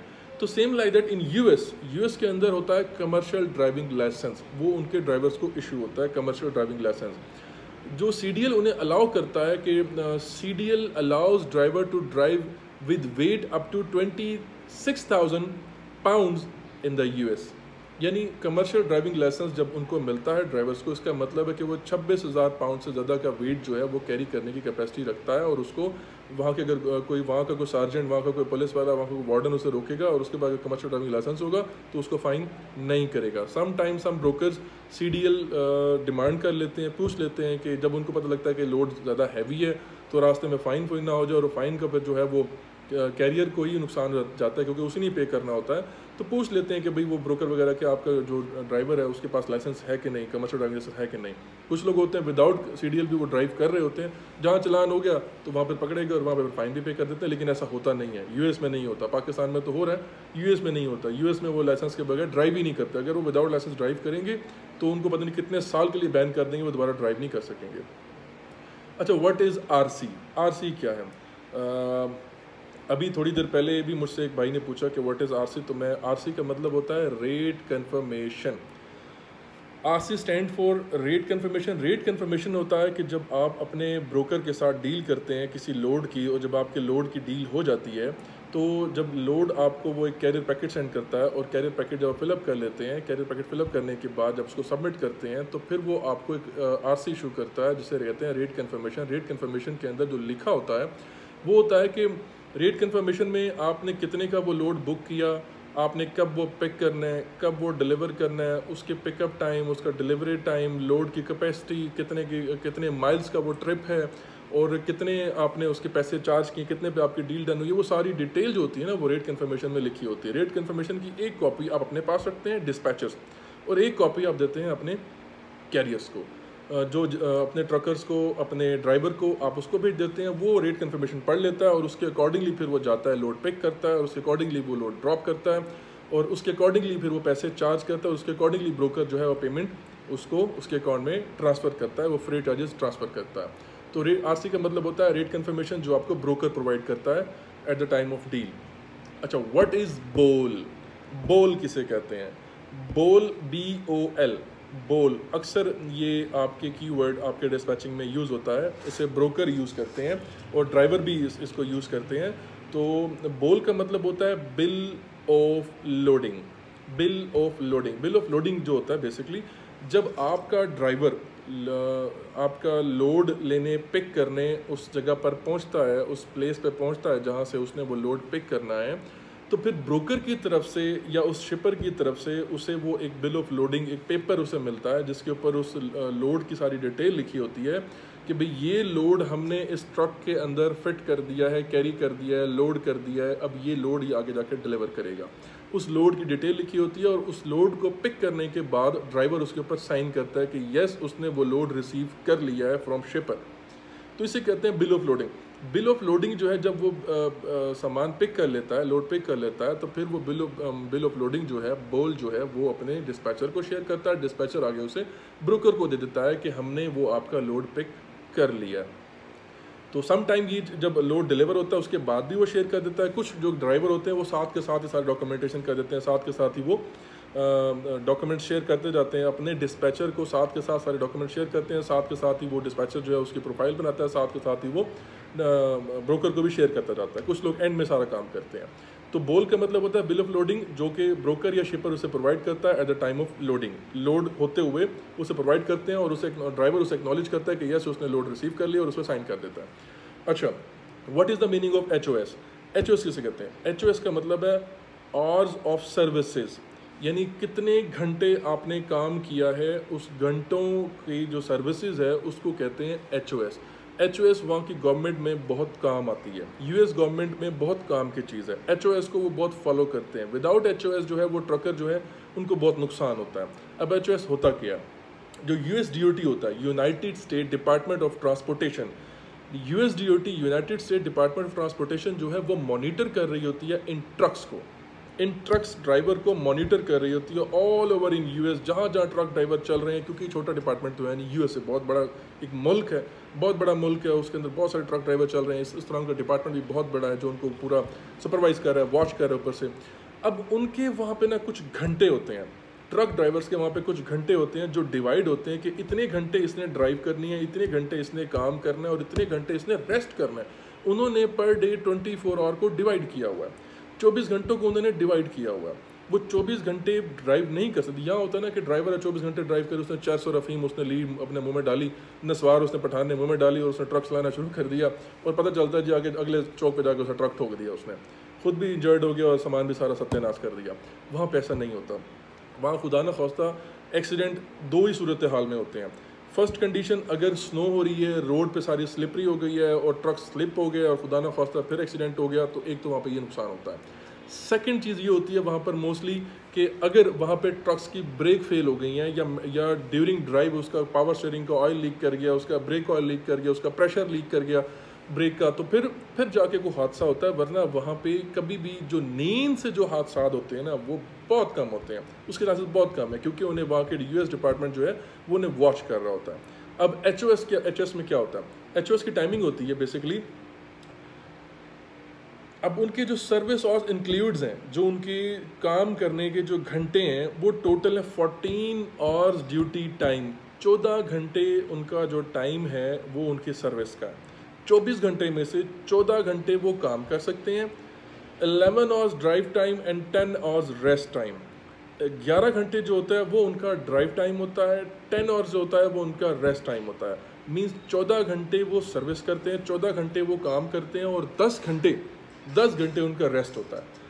चौदह घंटे वो काम करेंगे, दस घंटे वो रेस्ट करेंगे। अगर सपोज़ उनका जो D O T U S D O T वाले उनको वॉच कर रहे हैं कि बंदा, ये ट्रक बंदा चला रहा है, चलाई जा रहा है, चलाई जा रहा है और चौदह घंटे से जैसे ही पंद्रवा घंटा शुरू होता है और ट्रक आपका ऑन रोड है, ट्रक आपका नहीं रुका तो उसको 500 डॉलर का फ़ाइन पड़ जाएगा उस ट्रक ड्राइवर को ट्रक ऑनर को, वो कभी भी पंद्रह घंटे पे नहीं जाएगा। उस, वो जहाँ भी होगा उसे ट्रक वो कोशिश कर रहे होते हैं कि यार हम अपनी डेस्टिनेशन अपने लोकेशन उन्होंने कुछ फ्यूल पंप्स वगैरह, कुछ रेस्टोरेंट कुछ होटल्स वगैरह ऐसे उन्होंने फाइनलाइज किए होते हैं, जहाँ उनके मतलब एक कॉन्ट्रैक्ट होते हैं कि अगर मैं इस रास्ते से गुजर रहा हूँ और मेरा टाइम पूरा होने वाला होगा तो मैं तुम्हारे पास रूम लेके यहाँ रेस्ट कर लूँगा।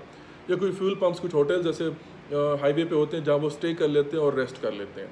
इनके ट्रक्स के अंदर बैक साइड पे जो बॉक्स ट्रक वाले होते हैं, वो मोस्टली होटल में जाकर स्टे करते हैं, क्योंकि उनके पीछे रूम नहीं होता, उनके अंदर बेड नहीं लगा होता। लेकिन जो बड़े ट्रक्स होते हैं, उनके उनके ट्रक्स अगर आप पिक्चर्स देखें तो आगे ड्राइवर होते हैं बैक साइड पर उनके फ्लैट अंदर अंदर बेड बने होते हैं, और वो अपने कैबिन के अंदर ही वो रेस्ट भी कर लेते हैं ट्रक को स्टॉप करते हैं पेट्रोल पंप पे, और वहाँ पर वो रेस्ट भी कर लेते हैं। तो चौदह घंटे उनका जो होता है ना, वो सर्विस टाइम होता है, दस घंटे जो होता है, वो उनका रेस्ट टाइम होता है, और वो दस घंटे उन्हें रेस्ट करना पड़ता है। ग्यारहवें घंटे जाके वो जो है ना अपने दोबारा काम स्टार्ट करेंगे, उससे पहले काम स्टार्ट नहीं करेंगे। अच्छा every eight hour driver must have rest of thirty minutes अच्छा जो दस घंटे उसके जो रेस्ट वाले होते हैं ना, अब बेसिकली उनका जो आवर्स है, उनके जो घंटे हैं, वो डिवाइड हुए हुए हैं। चौदह घंटे सर्विस करनी है, दस घंटे आपने रेस्ट करना है। दस घंटे वो ड्राइवर चाहे एक साथ रेस्ट कर ले, उसकी मर्ज़ी के वो सो गया रेस्ट कर रहा है, ठीक है। चाहे वो every eight hours drive driver must have rest किया हर आठ घंटे के बाद वो अगर वो रुकता है, वो रुक के वो तीस मिनट के लिए रेस्ट कर लेता है। रेस्ट करना ज़रूरी है, उसने अपने जो दस घंटे रेस्ट वाले हैं, वो पूरे करने हैं। और चौदह घंटे जो है, वो उसने सर्विस करनी है। दस घंटे का रेस्ट पूरा नहीं करेगा तो उसे वहाँ की गवर्नमेंट की तरफ़ से चलान पड़ जाएगा। तो इसीलिए उनकी जो एचओएस है, उस यू एस वाले जो हैं यू एस डिपार्टमेंट जो है United State Department of Transportation जो है, वो उन्हें वॉच कर रहे होते हैं उनके एचओएस को। उनके एचओएस को वॉच कर दिया और फिर वहीं से वो गैस करती है कि अगर खुदा ना खास्ता कोई हादसा हो जाए तो ड्यूरिंग इंस्पेक्शन वो ये भी चेक करते हैं कि इस बंदे ने ओवर ड्राइव की थी, क्यों हादसा हो गया? तो इसीलिए एच ओ एस वहाँ के U S D O T वालों के लिए United State Department of Transportation के लिए एच ओ एस बहुत ज़रूरी है। तो और dead head origin dead head D H O D H O ये मैंने अपने लोड बोर्ड की वीडियो में भी बताया था। एक लोड बोर्ड की वीडियो मैंने अपलोड की थी, उसमें मैंने बताया था कि डी एच ओ किसे कहते हैं। डी एच ओ का मतलब होता है डेड हेड ऑरिजिन एक होता है D H D dead head destination एक होता है D H O dead head origin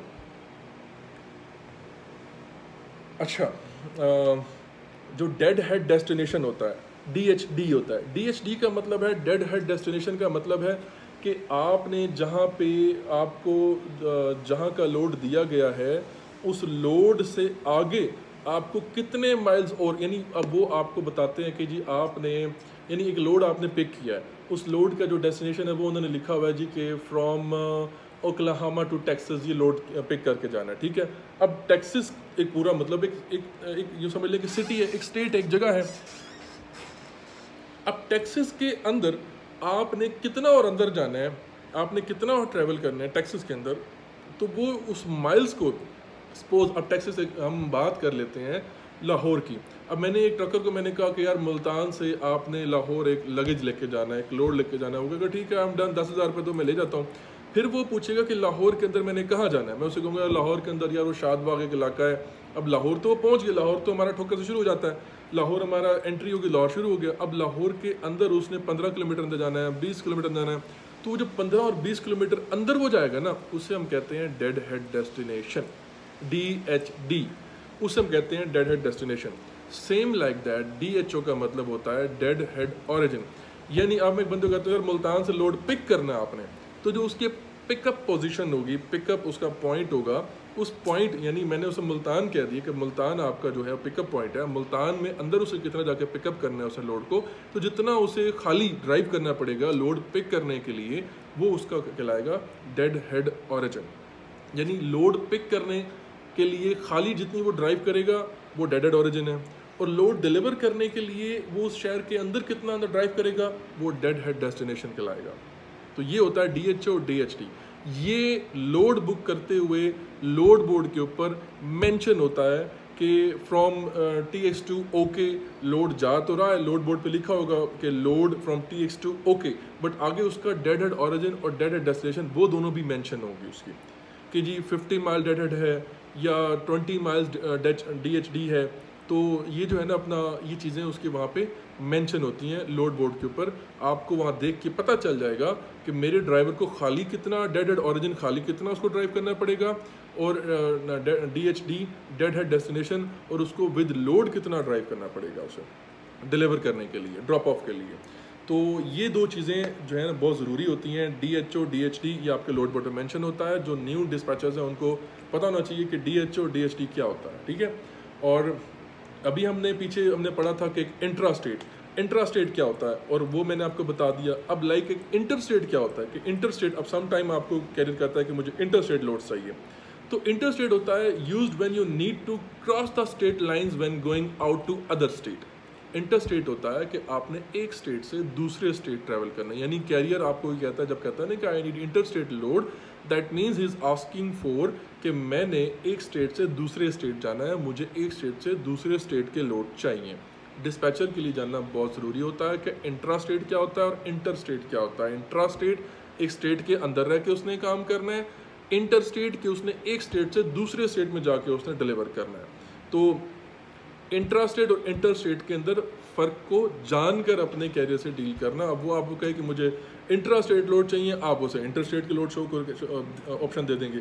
वो कहे, मुझे इंटर स्टेट लोड चाहिए, आप उसे इंट्रा स्टेट के लोड देना शुरू कर देंगे।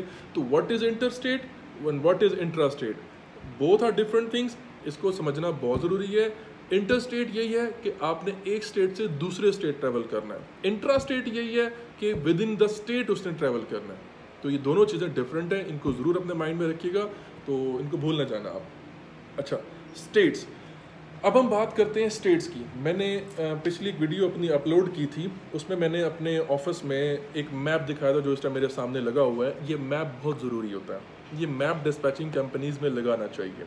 अच्छा सबसे पहली चीज़ कि जब आप डिस्पैचिंग इंडस्ट्री में आते हैं तो आपको पता होना चाहिए कि यूएस के अंदर कितने स्टेट्स मौजूद हैं। यूएस के अंदर कितने स्टेट्स मौजूद हैं और कितने स्टेट्स में ट्रक काम करते हैं कितने स्टेट्स में लॉजिस्टिक कंपनीज़ काम करती हैं कितने स्टेट्स में आप ट्रक को मूव करवा सकते हैं? तो ये चीज़ आपको पता होनी चाहिए। एक सवाल मुझसे शुरू शुरू में एक कैरियर ने किया था जब मैं न्यू न्यूज़ फ़ील्ड में आया था और मुझे भी उसका जवाब नहीं पता था आज मुझे पता है। तो उसने आ, मैंने एक ना कैरियर को ईमेल की वी आर एक्सपीरियंस डिस्पैचर जिस तरह हम एक स्क्रिप्ट को हम पढ़ते हैं या स्क्रिप्ट में हम काम करते हैं एक सेल्स के स्क्रिप्ट पे तो सेल्स स्क्रिप्ट मैंने उसको शेयर किया तो उसने लिखा, उसने मुझे रिप्लाई बैक किया, उसने कहा कि in which state you are specialize in which state you are specialize वहाँ मैं कन्फ्यूज़ हो गया, मैं कि यार ये इसने क्या पूछ लिया मेरे से? अब मुझे पता ही नहीं था कि मैं किस स्टेट का स्पेशलाइज हूँ। अब फिर मुझे बाद में काम करने के बाद मुझे पता चला कि भाई, जो डिस्पैचर्स होते हैं, वो ऑल ओवर यूएसए काम कर रहे होते हैं लोड बोर्ड पे ऑल ओवर यूएसए के लोड बोर्ड मिल रहे होते हैं तो हम किसी एक स्पेसिफिक स्टेट को हम कवर नहीं कर रहे होते। हम तमाम स्टेट्स को कवर कर रहे होते हैं। उस टाइम मैं उस कैरियर को जवाब नहीं दे सका और उससे मैं आगे बात ही मैंने, फिर मैंने रिप्लाई नहीं किया। मैंने कहा रिप्लाई करूँगा, पास जाऊँगा, मुझे तो कुछ पता ही नहीं है। तो इसीलिए उस टाइम मैं उसे रिप्लाई नहीं कर सका। लेकिन सपोज़ अगर आप लोग जो है कोई कोई आपसे सवाल कर ले कि in which state you are specialize किसी new dispatcher new sales person से तो आपने उसे कहना कि we are specialize all over USA हम पूरे यूएसए को कवर करते हैं, पूरे यूएसए को देखते हैं, फिर वो कोई आपसे क्रॉस क्वेश्चनिंग कर सकता है। तो आपको तमाम आंसर्स आने चाहिए। कोई आपसे पूछेगा अच्छा how much states in US अगर आपको कोई गेस कर ले कि यार ये बंदा जो है ना ओवरसीज लग रहा है यूएस का नहीं लग रहा है इसकी जो, इसका जो टोन है, इसका जो एक्सेंट है, वो यूएस वाला नहीं है। वो आपसे क्रॉस क्वेश्चनिंग कर लेगा। तो आपको आंसर्स एटलीस्ट आने चाहिए, सारे आंसर्स आने चाहिए। वो कहेगा how many states in USA तो फिर आप उसे कहेंगे कि there are fifty two states in U S में फिफ्टी टू स्टेट्स हैं। 52 स्टेट्स हैं but trucking industry is only in 48 states जो ट्रकिंग इंडस्ट्री है, वो सिर्फ़ 48 स्टेट्स में काम करती है 52 स्टेट्स में काम नहीं करती 52 में से 48 स्टेट्स में काम करती है, और जो मेरी ऑफ़िस में ये मैप लगा हुआ है, इसमें तमाम स्टेट्स के नाम लिखे हुए हैं, तमाम स्टेट्स की डिटेल लिखी हुई है कि मतलब एम एन कहाँ पे है टेक्सास कहाँ पे है एल ए कहाँ पे है एरिजोना कहाँ है इंडियाना कहाँ है तो मैरीलैंड का है वेमिंग का है तो फ्लोरिडा का है तो ये सारी चीज़ें, ये मैप अगर आपके ऑफ़िस में होगा, ये बहुत हेल्पफुल होगा। इस मैप के ऊपर टोटल 52 स्टेट्स के नाम जो होते हैं वो लिखे होते हैं। और 48 स्टेट्स में आप लोग काम करते हैं। जब कोई कैरियर कहता है कि मैंने फलां स्टेट से फलां स्टेट पे जाना है तो फ़ौरन डिस्पैचर मैप को देखता है। मेरे ऑफ़िस में आज भी देखता है डिस्पैचर फ़ौरन मैप को देखता है कि ये कहाँ पे इस टाइम टेक्सिस में है। अच्छा ये कहाँ जाना चाह रहा है? जॉर्जिया जाना चाह रहा है। तो जॉर्जिया कहाँ पे, किस साइड पे है? ये डाउनवर्ड्स है या अपवर्ड है? ये हिली स्टेशन में है या ये मिड वेस्ट में है? या अटलांटिक में है? ये पैसिफिक में कहाँ पे है? तो ये चीज़ें जो है ना, ये मैप आपको बहुत हेल्पफुल होता है। मैप अपने डिस्पैचिंग ऑफ़िस में ज़रूर लगाएँ। बहुत हेल्पफुल होता है। तो अब स्टेट्स को मैं आपको बता रहा हूँ कि यूएसए के अंदर 52 स्टेट्स हैं बेसिकली और 48 स्टेट्स में ट्रकिंग इंडस्ट्री काम करती है। तो ये चीज़ अब आपके माइंड में होनी चाहिए, ठीक है? अब हम रीजन्स की बात करते हैं। यूएसए कितने रीजन में डिवाइड हुआ हुआ है? यूएसए जो है वो कितने रीजन में डिवाइड हुआ है basically USA is divided into seven regions पूरा जो अमेरिका है यूनाइटेड स्टेट ऑफ़ अमेरिका जो है, वो सेवन रीजन्स में डिवाइड हुआ हुआ है। उन सेवन रीजन्स के बारे में आपको पता होना चाहिए। जब आपका कैरियर आपको अपनी करंट लोकेशन भेजता है कि I am here I am right now available in this state in this region तो आपको पता हो कि ये रीजन जो है, ये कहाँ पर है? ये किस रीजन में, किस जगह पे, किस स्टेट पे मेरा कैरियर मौजूद है? For that purpose you have to know about the regions के यूएसए के अंदर कितने रीजन्स हैं and there are seven regions in USA और रीजन्स के नाम जो है वो बता देता हूँ आपको। जो उसका रीजन के नाम्स हैं सेवन रीजन है यूएसए के।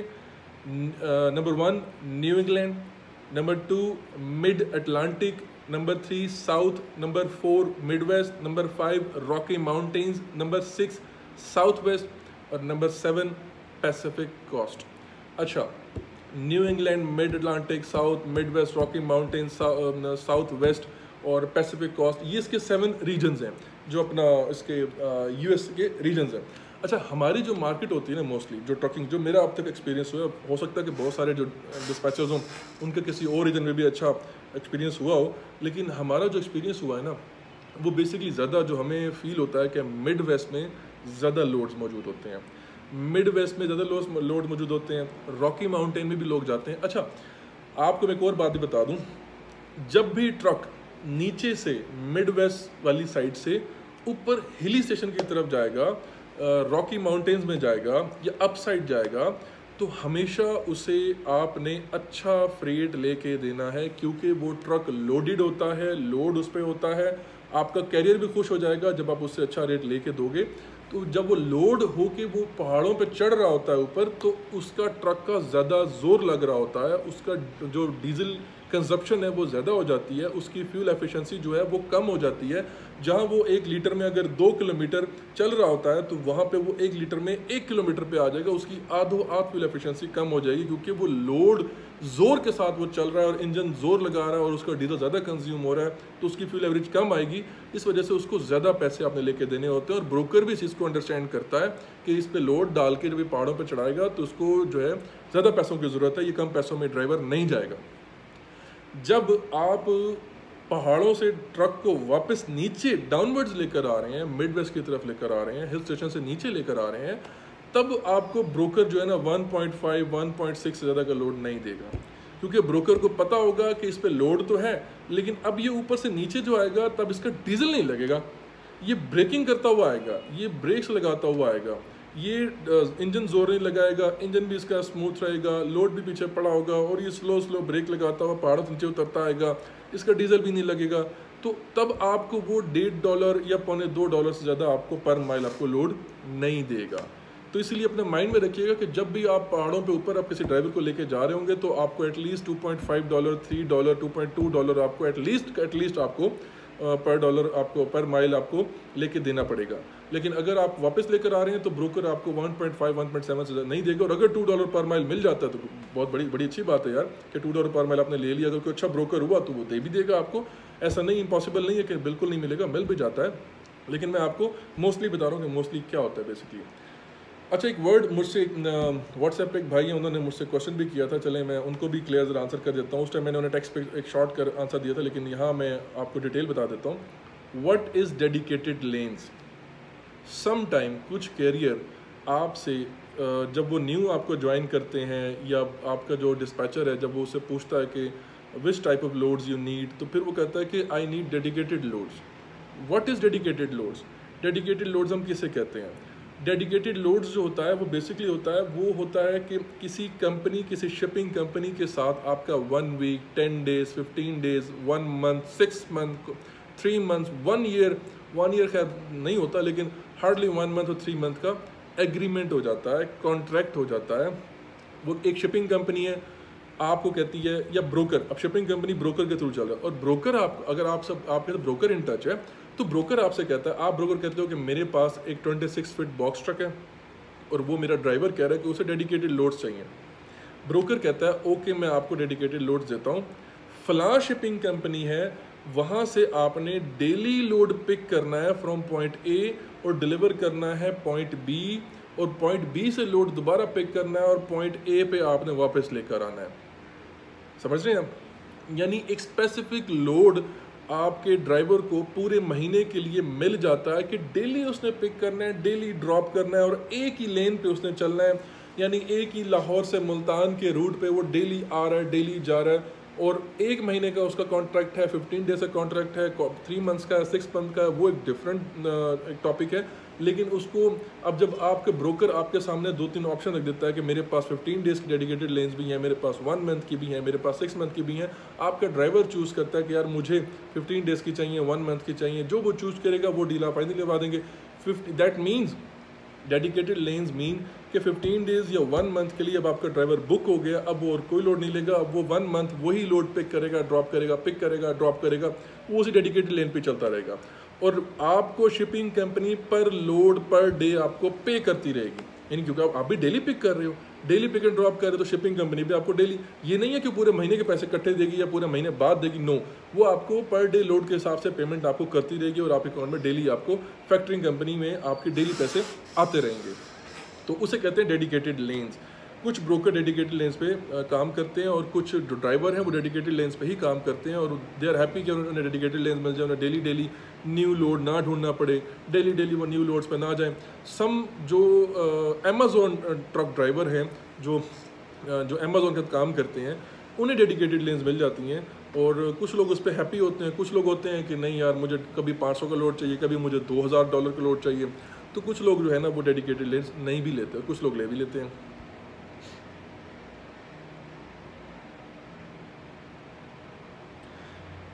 अच्छा एक इसमें कीवर्ड है S C A C S C A C what is S C A C and S C A C stand for S C A C का मतलब होता है S C A C standard carrier alpha codes standard carrier alpha codes ये एक code word होता है जो career companies की रिकोगनाइजेशन के लिए, उनकी पहचान के लिए यूँ कह लें कि आइडेंटिफिकेशन के लिए कैरियर कंपनीज़ की।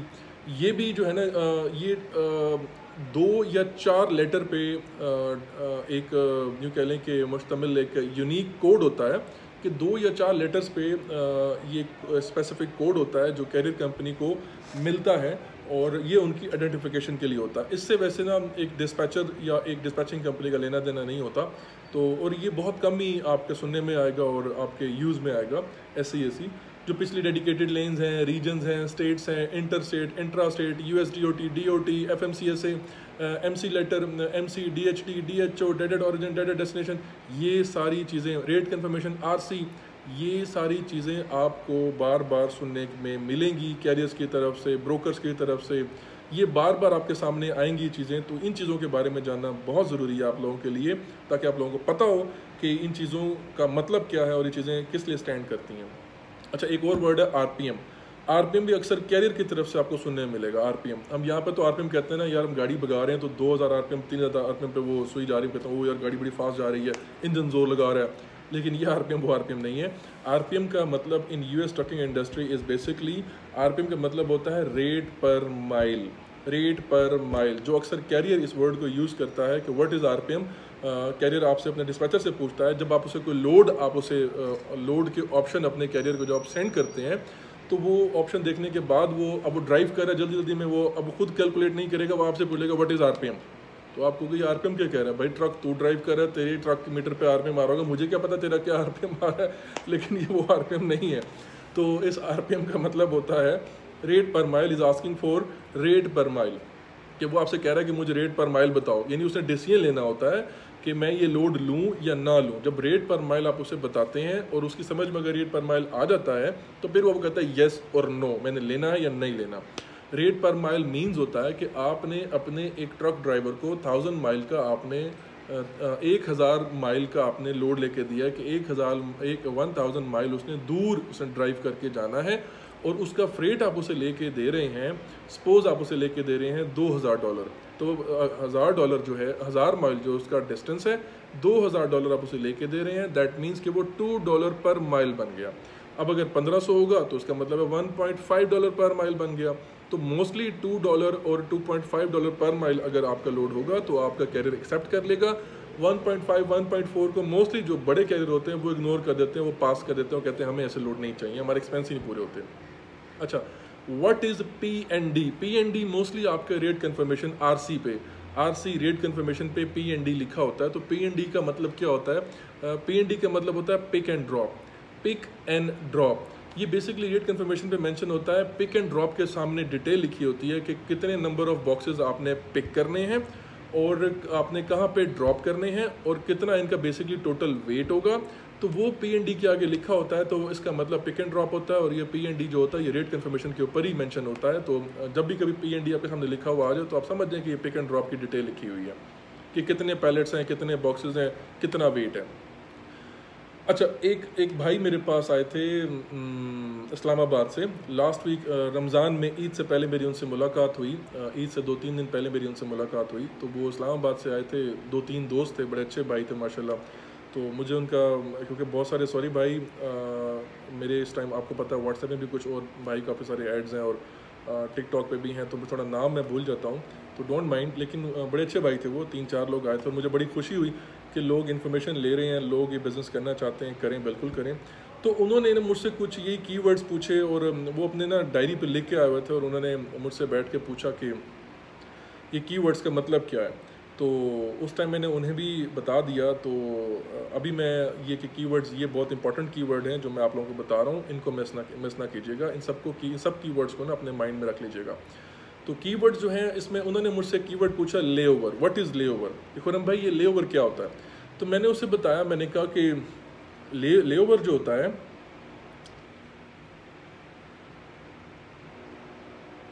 वेट अ सेकेंड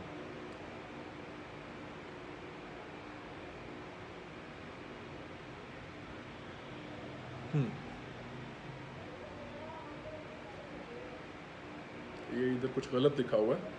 ऐसा नहीं है ले ओवर में।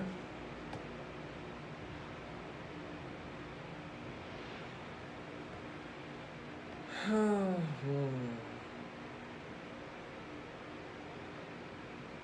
यहाँ पे कुछ लिखा हुआ था लेओवर के बारे में वो सही नहीं लिखा हुआ लेकिन चलें लेओवर बताता हूँ मैं आपको। लेओवर क्या होता है? लेओवर होता है कि जब आपका कैरियर आपके पिकअप पॉइंट पे पहुँच जाता है मतलब आपके ब्रोकर ने आपके कैरियर को एक पिकअप पॉइंट दिया और कहा कि फ़लाँ जगह से जाके आप लोड पिक कर लो और पिकअप जब आपको रेट कन्फर्मेशन मिलता है, उस रेट कन्फर्मेशन के ऊपर पिकअप पॉइंट भी लिखा होता है और पिकअप टाइम भी लिखा होता है कि इस टाइम पे आपका कैरियर इस जगह से जाके ये लोड पिक कर ले। तो जब आपका कैरियर आपका ड्राइवर उस पिकअप पॉइंट पे पहुँचता है और वहाँ जाके जब वो देखता है कि भाई लोड तो अभी तैयार ही नहीं है लोड तो अभी रेडी नहीं है आगे जो वो मैन्युफैक्चरर होता है, वो कहते हैं, जी, अभी ये पैक हो रहा है, अभी इसको टाइम लग जाएगा, एक घंटा, दो घंटा, तीन घंटा इसको आपको वेट करना पड़ेगा। तो उसमें ये होता है कि जितने घंटे वो हमारा ड्राइवर वहाँ पे खड़ा रहेगा वेट करता रहेगा, पर और के हिसाब से वो चार्ज करता रहेगा। क्योंकि जब वो लोड यानी अब ब्रोकर ने कहा कि, जी, आपने शाम को पाँच बजे इस पिकअप पॉइंट पे पहुँच जाना है। हमारा ड्राइवर पाँच बजे वहाँ पहुँच गया, ठीक है? अब लोड रेडी नहीं है। अब वो पाँच बजे वहाँ पहुँच गया, पहुँचने के बाद, क्योंकि रेट कन्फर्मेशन के ऊपर पाँच बजे लिखा हुआ है तो पाँच बजे हमारा ड्राइवर वहाँ पहुँच गया। आगे लोड रेडी नहीं है। अब लोड रेडी हुआ रात को दस बजे जाके। दस बजे जाके रेडी हुआ और दस बजे उन्होंने उसके ट्रक में उसे लोड किया। तो अब पाँच घंटे हमारे ड्राइवर ने वहाँ पे वेट किया।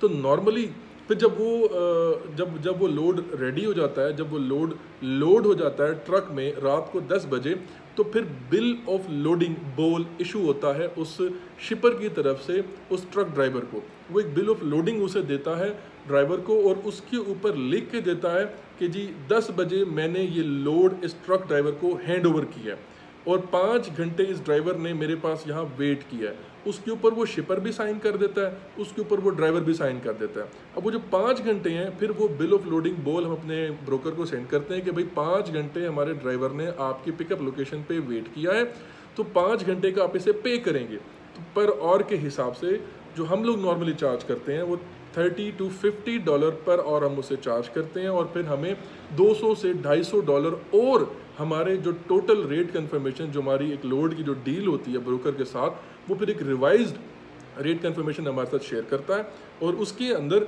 वो चार से पाँच घंटे के जो पैसे होते हैं, जो पेमेंट होती है, जो चार्जेस होते हैं, वो ऐड करके वो हमें न्यू रेट कन्फर्मेशन सेंड करता है और फिर जब वो उसको पे करेगा उस हमारे ड्राइवर को आफ्टर डिलीवरी जब वो लोड डिलीवर करेगा, जो उसको पे करेगा तो इंक्लूडिंग ले ओवर ले ओवर वो जो लेट टाइम उसने वेट किया, उसने पाँच घंटे उसने वेट किया, उसके पैसे उसको ऐड करके वो ब्रोकर उसको पे कर देगा। यानी पिकअप पॉइंट पे जितने घंटे हमारा ड्राइवर वेट करेगा, उसको उस वेट करने के पैसे मिलेंगे और उन पैसों को हम ले ओवर कहेंगे। ठीक है? ले ओवर होता है पिकअप पॉइंट पे जितना टाइम ड्राइवर वेट करेगा और उसको उसके जो पैसे मिलेंगे, उसे हम ले ओवर कहते हैं। अच्छा व्हाट इज़ डिटेंशन एक वर्ड डिटेंशन आता है। ये डिटेंशन भी मतलब ले ओवर डिटेंशन लंपर ये चीज़ें जो होती हैं ना, ये अक्सर कैरियर आपसे, अक्सर आपकी कैरियर के साथ डिस्कशन रहेगी इस टॉपिक पे। ले ओवर मैंने आप लोगों को बता दिया। डिटेंशन क्या होता है? व्हाट इज़ डिटेंशन डिटेंशन कि डिटेंशन ये होता है कि आपने लोड पिक कर लिया टाइम पे पिक कर लिया, अब आप उसे डिलीवर करने चले गए to point B point B पे जहाँ पे आपने उसे ऑफलोड करना है, आपने जहाँ पे लोड आपने ड्रॉप ऑफ़ करना है, जब आप उस लोकेशन पर पहुँचते हैं तो वहाँ पहुँच के आप देखते हैं कि रिसीवर तो है ही नहीं। रिसीवर आया ही नहीं। रिसीवर को आप फ़ोन करते हैं कि, भाई where are you I am here to unload the load वो वो कहता है रिसीवर कहता है कि, यार, मैं तो ज़रा दूर हूँ, मैं तीन चार घंटे बाद या पाँच घंटे बाद पहुँचूँगा। अब जो वहाँ पे डिलीवरी पॉइंट पे जहाँ जितना टाइम हमारा ड्राइवर वेट करेगा ले था पिकअप पॉइंट पे। पिकअप पॉइंट पे जहाँ हमारा ड्राइवर जितना वेट करता रहा, वहाँ उसे वो लेबर मिलेगा। डिलीवरी पॉइंट पे जितने घंटे हमारा ड्राइवर वो लोड अपने ट्रक में लेके बैठा रहेगा, उसे फिर डिटेंशन मिलेगी। यानी पाँच घंटे के बाद आके जनाब वो रिसीवर कहता है कि, नाउ हम हेयर हाँ जी, अब लोड अब अनलोड करते हैं ऑफ़ लोड करते हैं, हम आपका लोड वो लोड उतारते हैं। फिर जब जैसे लाइक पिकअप पॉइंट पे उसे ले ओवर के लिए एक बोल मिला था बिल ऑफ़ लोडिंग मिलता है। सेम लाइक दैट जब वो लोड डिलीवर करता है लोड को वो उतारता है तो जितना टाइम उसने वेट किया होता है, वहाँ पे उसे एक प्रूफ ऑफ़ डिलीवरी मिलता है P O D P O D proof of delivery मिलता है और प्रूफ ऑफ़ डिलीवरी के ऊपर जो रिसीवर होता है, वो लिख के देता है यस कि मैं तीन चार घंटे लेट हुआ हूँ और वो लेट टाइम भी उसे मेंशन करेगा, और जैसे वो अपना, सारा लगेज या सारा लोड रिसीव करेगा तो रिसीवर उस पर साइन कर देगा और वहाँ पे ड्राइवर भी साइन कर देगा। और फिर हम वो वाला जो जो हमें मिलता है पीओडी मिलता है, वो प्रूफ ऑफ़ डिलीवरी भी वो कैरियर जो है, वो अपने डिस्पैचर को डिस्पैचर जो है, वो ब्रोकर को शेयर कर देता है कि जी ये प्रूफ ऑफ़ डिलीवरी है, हमने आपका लोड जो है, वो आपके पॉइंट पर पहुँचा दिया है, लेकिन वहाँ पाँच घंटे हमारे ड्राइवर ने वेट किया लोड के साथ, आपका रिसीवर जो है, वो लेट आया है। और वो आपके पीओडी के ऊपर लिखा हुआ है। Kindly add some detention in our rate confirmation फिर वो भी same like that layover thirty two fifty dollar per और के हिसाब से वो उसको ऐड करता है। जितने घंटे हमारे ड्राइवर ने वेट किया होगा उतने घंटों का वो ले ओवर उसमें ऐड करके वो आपको uh, uh, आपके रेट कन्फर्मेशन में ऐड करके आपको पेमेंट कर देगा। तो ले ओवर होता है पिकअप पॉइंट पे जितना आपने वेट किया है डिटेंशन होता है कि डिलीवरी पॉइंट पे जितना आपने वेट किया सिंपल इज़ दैट इसमें ये चीज़ होती है। अच्छा आगे आते हैं lumper fee what is the lumper fee lumper fee में अक्सर जो कैरियर होते हैं, कुछ बुज़ुर्ग कैरियर मीन ट्रक ड्राइवर जो होते हैं, वो बुज़ुर्ग होते हैं। कुछ ट्रक ड्राइवर होते हैं, वो लड़कियाँ होती हैं। अब एक दो कुछ ऐसी भी लड़कियाँ थी जो टीन एजर्स थी लाइक ट्वेंटी ईयर ओल्ड थी, अभी भी नया नया उनको कमर्शियल ड्राइविंग लाइसेंस मिला और उन्होंने ट्रक ड्राइव करना शुरू कर दिया। तो अब वो यंग लड़कियाँ होती हैं तो वो जो लोड होता है, वो हैवी होता है। वो उसे पिक करके लोड नहीं कर सकती, उसे उठा के अनलोड नहीं कर सकती। तो जब वो डिलीवरी पॉइंट पे पहुँचती हैं और वहाँ पहुँच के वो आके रिसीवर को कहती हैं काइंडली किसी थर्ड पार्टी को बुलाओ जो आके आप, आपके सारा सामान उठा के अनलोड करे मेरे ट्रक को. तो थर्ड पार्टी को जो पैसे पे होते हैं, यानी जो अब जारी बात है किसी मज़दूर को बुलाएँगे, एक सिंपल लैंग्वेज में बता रहा हूँ, किसी मज़दूर को बुलाएँगे कि, यार आओ प्लीज़ इस लोड को अनलोड कर दो, उतार दो तो मज़दूर अनलोड करने के पैसे लेगा। उसे कहते हैं लम्पर फ़ी और वो लंपर फ़ी जो है, वो ट्रक ड्राइवर पे करता है ब्रोकर पे नहीं करता शिपर पे नहीं करता रिसीवर पे नहीं करता, वो ट्रक ड्राइवर पे करता है लंपर फ़ी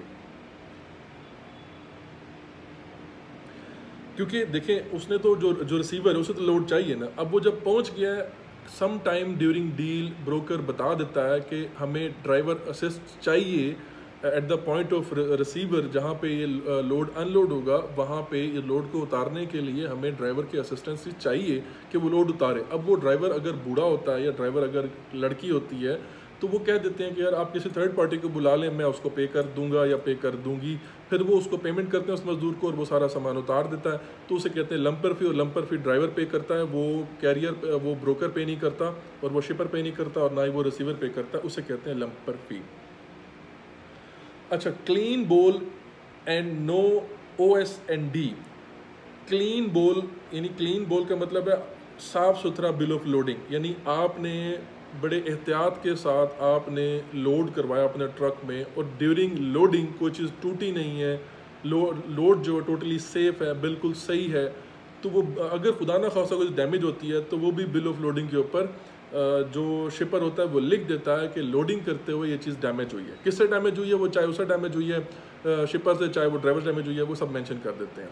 और उसी तरह no O S N D no O S N D का मतलब होता है कि overages shortages and damages यानी जब आप उसको डिलीवर करने जाते हैं तो वहाँ जब पीओडी आपको मिलता है प्रूफ ऑफ़ डिलीवरी तो जैसा लोड आपने पिक किया था, वैसा ही लोड आपने डिलीवर कर दिया है।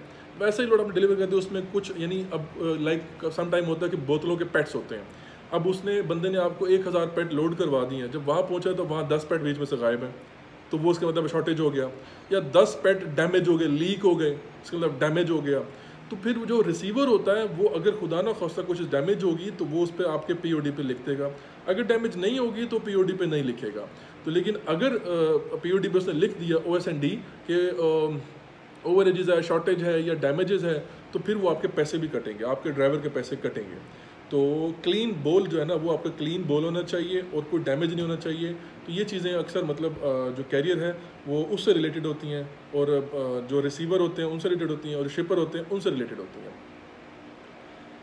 अच्छा दूसरी चीज़ आती है T T M what is T T M T T M का मतलब होता है total trips mile total trips mile यानी कि टोटल ट्रिप्स माइल के अंदर, अब सपोज़ आप अपने कैरियर को, एक डिस्पैचर अपने कैरियर को तीन चार लोड ऑप्शन भेजता है कि फ़लाँ लोड है, ये हज़ार माइल का है दो हज़ार माइल का है, ये पाँच सौ माइल का है। तो वो आपसे सवाल करता है कि व्हाट इज़ टीटीएम अब न्यू डिस्पैचर जो वो सोचने बैठ जाएगा व्हाट इज़ टी ये टीटीएम मोस्टली जो हमारे एक्सपीरियंस ओल्ड डिस्पैचर है, उन्हें भी नहीं पता टीटीएम किसे कहते हैं। वही पूछ ले जो छः छः महीने के हिसाब से बैठे हैं, उन्हें भी टीटीएम का नहीं पता होता। टीटीएम का मतलब होता है, जब वो पूछता है आपका कैरियर कि व्हाट इज़ टीटीएम तो टी मतलब होता है टोटल ट्रिप्स माइल यानी वो आपसे, आपका ड्राइवर ये पूछ रहा है कि भाई डेड हेड भी इसके अंदर डाल दो डेड हेड ऑरिजिन भी इसके अंदर डाल दो और टोटल डेस्टिनेशन है वो भी डाल दो। और मुझे टोटल बताओ कि टोटल माइल कितने हैं।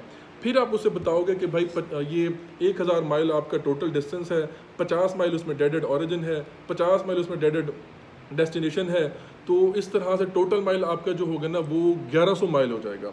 फिर आप उसे रेट बताओगे कि भाई आपको मैंने 2500 डॉलर लेके दिया, फिर वो उसे डिवाइड करके 1100 माइल के ऊपर यानी 2.2 डॉलर 2.3 डॉलर बन रहा है। और अगर उसे सही लगेगा, वो कहेगा ओके बुक दिस लोड और अगर सही नहीं लगेगा तो वो कहेगा कि no pass pass this load लेकिन ये है कि मोस्टली वो अच्छे जो लोड होते हैं, अच्छे माइल्स होते हैं, अच्छे माइल पर लोड होते हैं, वो ले लेते हैं। तो टीटीएम का मतलब होता है total trips mile including dead head origin including dead head destination and including total destination तो ये सब कुछ मिला के TTM बनता है टोटल ट्रिप्स माइल्स टोटल मतलब टीटीएम का मतलब होता है total trips miles TONU what is TONU? ये भाई जो इस्लामाबाद से आए थे, उन्होंने भी मुझसे पूछा कि what is TONU? TONU stand for तो टोनू का मतलब क्या होता है? टोनू का मतलब होता है ट्रक ऑर्डर नॉट यूज़ मतलब कि ब्रोकर ने आपके साथ एक लोड की डील कर ली। लोड की डील कर ली। आपको रेट कन्फर्मेशन दे दिया कि जी ये हज़ार माइल का लोड है, इसका दो हज़ार डॉलर हमने आपको पे करना है। फ्रॉम पॉइंट ए से आपने पिक करना है फ्रॉम फ्रॉम पॉइंट बी पे टू टू पॉइंट बी पे आपने डिलीवर करना है।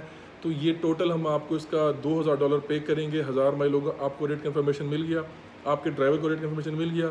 आपके ड्राइवर ने ट्रक स्टार्ट किया, वो उस पिकअप पॉइंट पे जाके पहुँच गया। वहाँ पहुँच के उसने अब जाके ब्रोकर को रबता किया कि, सर, मैं तो पहुँचा हुआ हूँ। और वहाँ जाके उस ड्राइवर को पता चलता है कि जो लोड उसने पिक करना था, वो लोड कैंसिल हो गया। कैंसिल मीन के वो जो मैन्युफैक्चरिंग कंपनी है या शिपिंग कंपनी है, वो लोड तैयार नहीं कर सकी, या लोड उसे डैमेज हो गया, या उस लोड में कोई प्रॉब्लम हो गई है, या वो लोड आज नहीं, दो दिन के बाद शिप करेगी कोई भी इंसिडेंट हो गया और वो लोड कैंसिल हो गया, लेकिन ड्राइवर आपका पिकअप पॉइंट पे पहुँच गया लोड लेने के लिए तो इसका मतलब है हमारी तरफ़ से फॉल्ट नहीं है फॉल्ट प्रॉब्लम इशू उस ब्रोकर या उस शिपिंग कंपनी की तरफ़ से आया है दे हैव टू पे अस उन्होंने हमें पे करना होगा। और फिर जो हमें वो पे करेंगे उससे हम, फिर हम उसको एक टोनू इशू करेंगे। टोनू का मतलब ट्रक ऑर्डर नॉट यूज़ यानी वो रेट कन्फर्मेशन वापस ले लेगा हमसे। उसके बदले एक रिवाइज रेट कन्फर्मेशन जो है वो हमें इशू कर देगा और उसमें एक स्पेसिफिक अमाउंट जो डिसाइडेड होगी 300 डॉलर 400 डॉलर या जो ड्राइवर ड्राइव करके उस जगह तक गया जितने माइल्स वो ड्राइव करके वहाँ पर गया है तो उसका जो भी कंपनसेशन होगी वो उसको ब्रोकर पे कर देगा, उसे हम कहते हैं टोनू।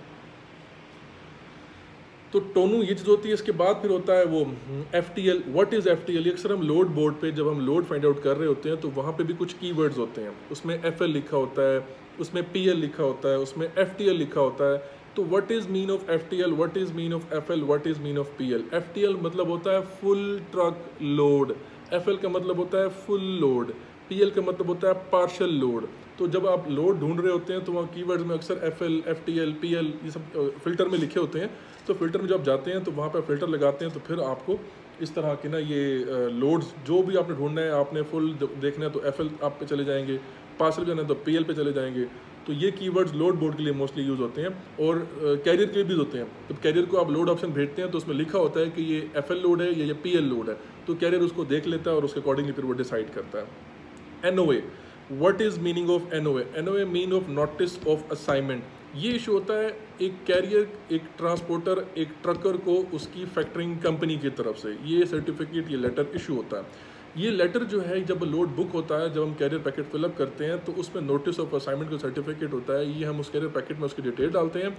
इसके accordingly in notice of notice of assignment पे लिखा होता है कि कैरियर ट्रकर कौन सी, क्योंकि there are lot of many there are lot of you can say कि फैक्ट्रिंग कंपनीज़ हैं there are manufacturing companies in a जो ट्रकर्स यूज़ कर रहे होते हैं तो उनके नोटिस ऑफ़ असाइनमेंट में उनकी कंपनी फैक्ट्रिंग कंपनी के नेम्स लिखे होते हैं, और उसके अकॉर्डिंगली वही नेम फिर हम डालते हैं कैरियर पैकेट में, और कैरियर पैकेट में जो नेम डालते हैं, फिर ब्रोकर जब आप लोड डिलीवर कर लेते हैं तो broker according to that carrier packet जो आपने नेम फैक्टरिंग कंपनी का नेम मेंशन किया होता है, उस फैक्टरिंग कंपनी को आपके उस लोड के अगेंस्ट वो पेमेंट कर देता है। तो N O A notice of assignment है। नोटिस ऑफ़ असाइनमेंट आपको इशू होता है आपकी फैक्टरिंग कंपनी कैरियर की फैक्टरिंग कंपनी की तरफ़ से और ये ये यूज़ होता है बेसिकली पेमेंट ट्रांजेक्शन के लिए।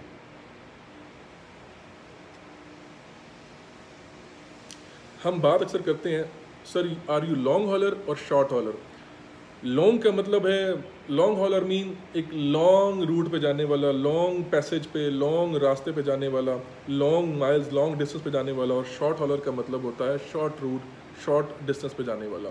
अब जो लॉन्ग हॉल होते हैं बेसिकली वो उनका रेडियस कुछ नहीं होता। उनका रेडियस आप उन्हें हज़ार माइल दो दो हज़ार माइल दो, पूरे वीक के लिए बुक कर दो, उन्हें कंसर्न है। लेकिन जो शॉर्ट हॉल होते हैं, उनकी एक उनका जो है ना रेडियस लिमिटेड होता है। वो अंडर 250 माइल अंडर 300 माइल वो आप खुद ही बता देते हैं कि जब हमें 300 माइल का लोड चाहिए, हमें 250 माइल लोड चाहिए। तो वो ये होता है लॉन्ग हॉल और शॉर्ट हॉल होता है। ठीक है? और व्हाट इज़ पैलेट्स पैलेट्स क्या होते हैं?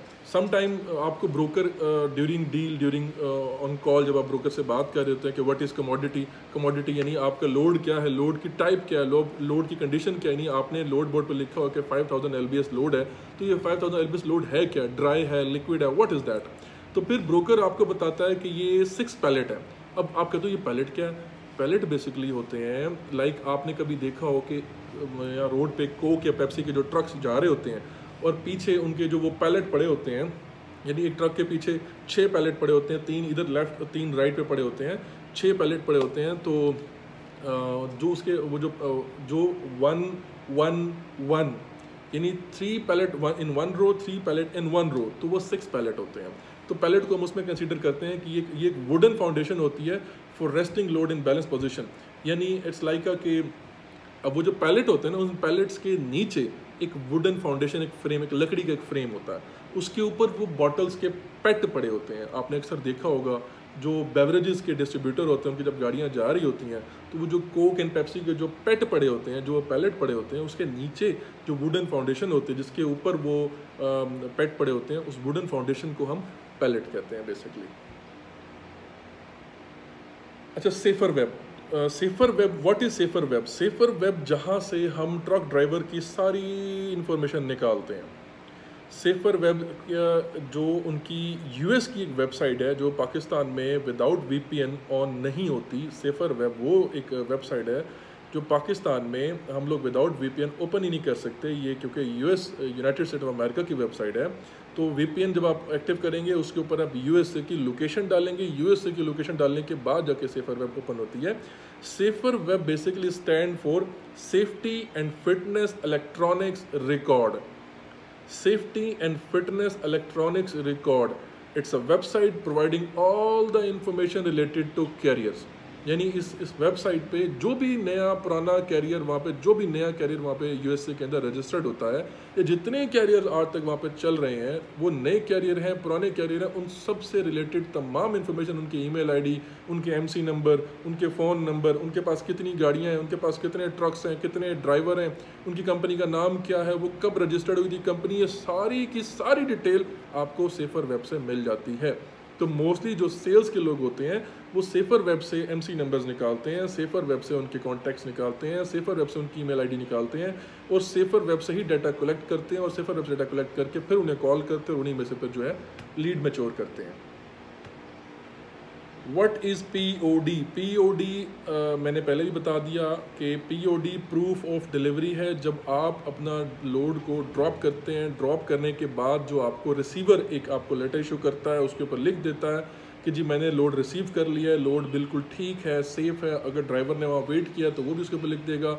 तो उसको पीओडी एक सिंपल शॉर्ट वर्ड में पीओडी कहते हैं। इसका मतलब प्रूफ ऑफ़ डिलीवरी है। जब आपका लोड आप पिक करते हैं बोल मिलता है, जब लोड ड्रॉप करते हैं तो पीओडी मिलता है। बोल और पीओडी ये दोनों चीज़ें आप ब्रोकर को भेजते हैं कि जी हमने आपका लोड पिक भी कर लिया और डिलीवर भी कर दिया। फिर पीओडी लेने के बाद ब्रोकर आपके कैरियर की पेमेंट थ्रू फैक्ट्रिंग कंपनी जो आपने कैरियर पैकेट में उसकी फैक्ट्रिंग कंपनी की इन्फॉर्मेशन डाली होगी एनओए से लेकर वो उसी फैक्ट्रिंग कंपनी को आपकी पेमेंट कर देगा। तो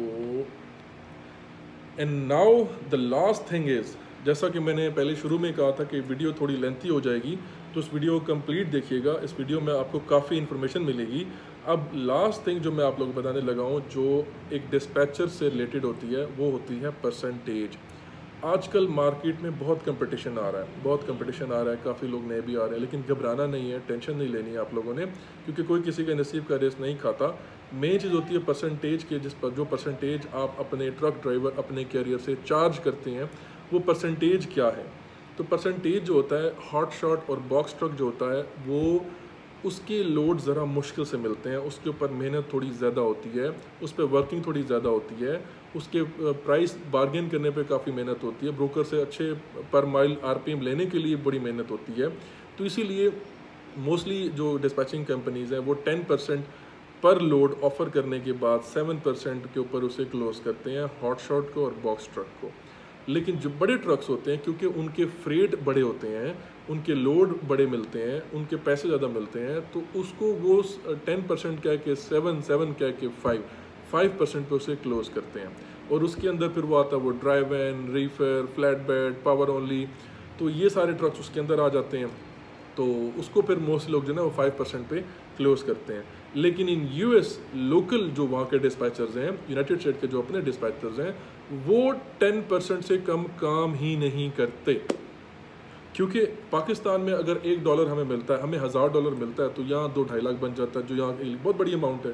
एक आम बंदे के लिए दो ढाई लाख बहुत बड़ी अमाउंट है, जो पचास हज़ार की सैलरी ले रहा है तो उसे दो ढाई लाख मिलेगा बहुत खुश हो जाएगा। लेकिन one thousand dollar in US उनके लिए एक बहुत छोटी अमाउंट है।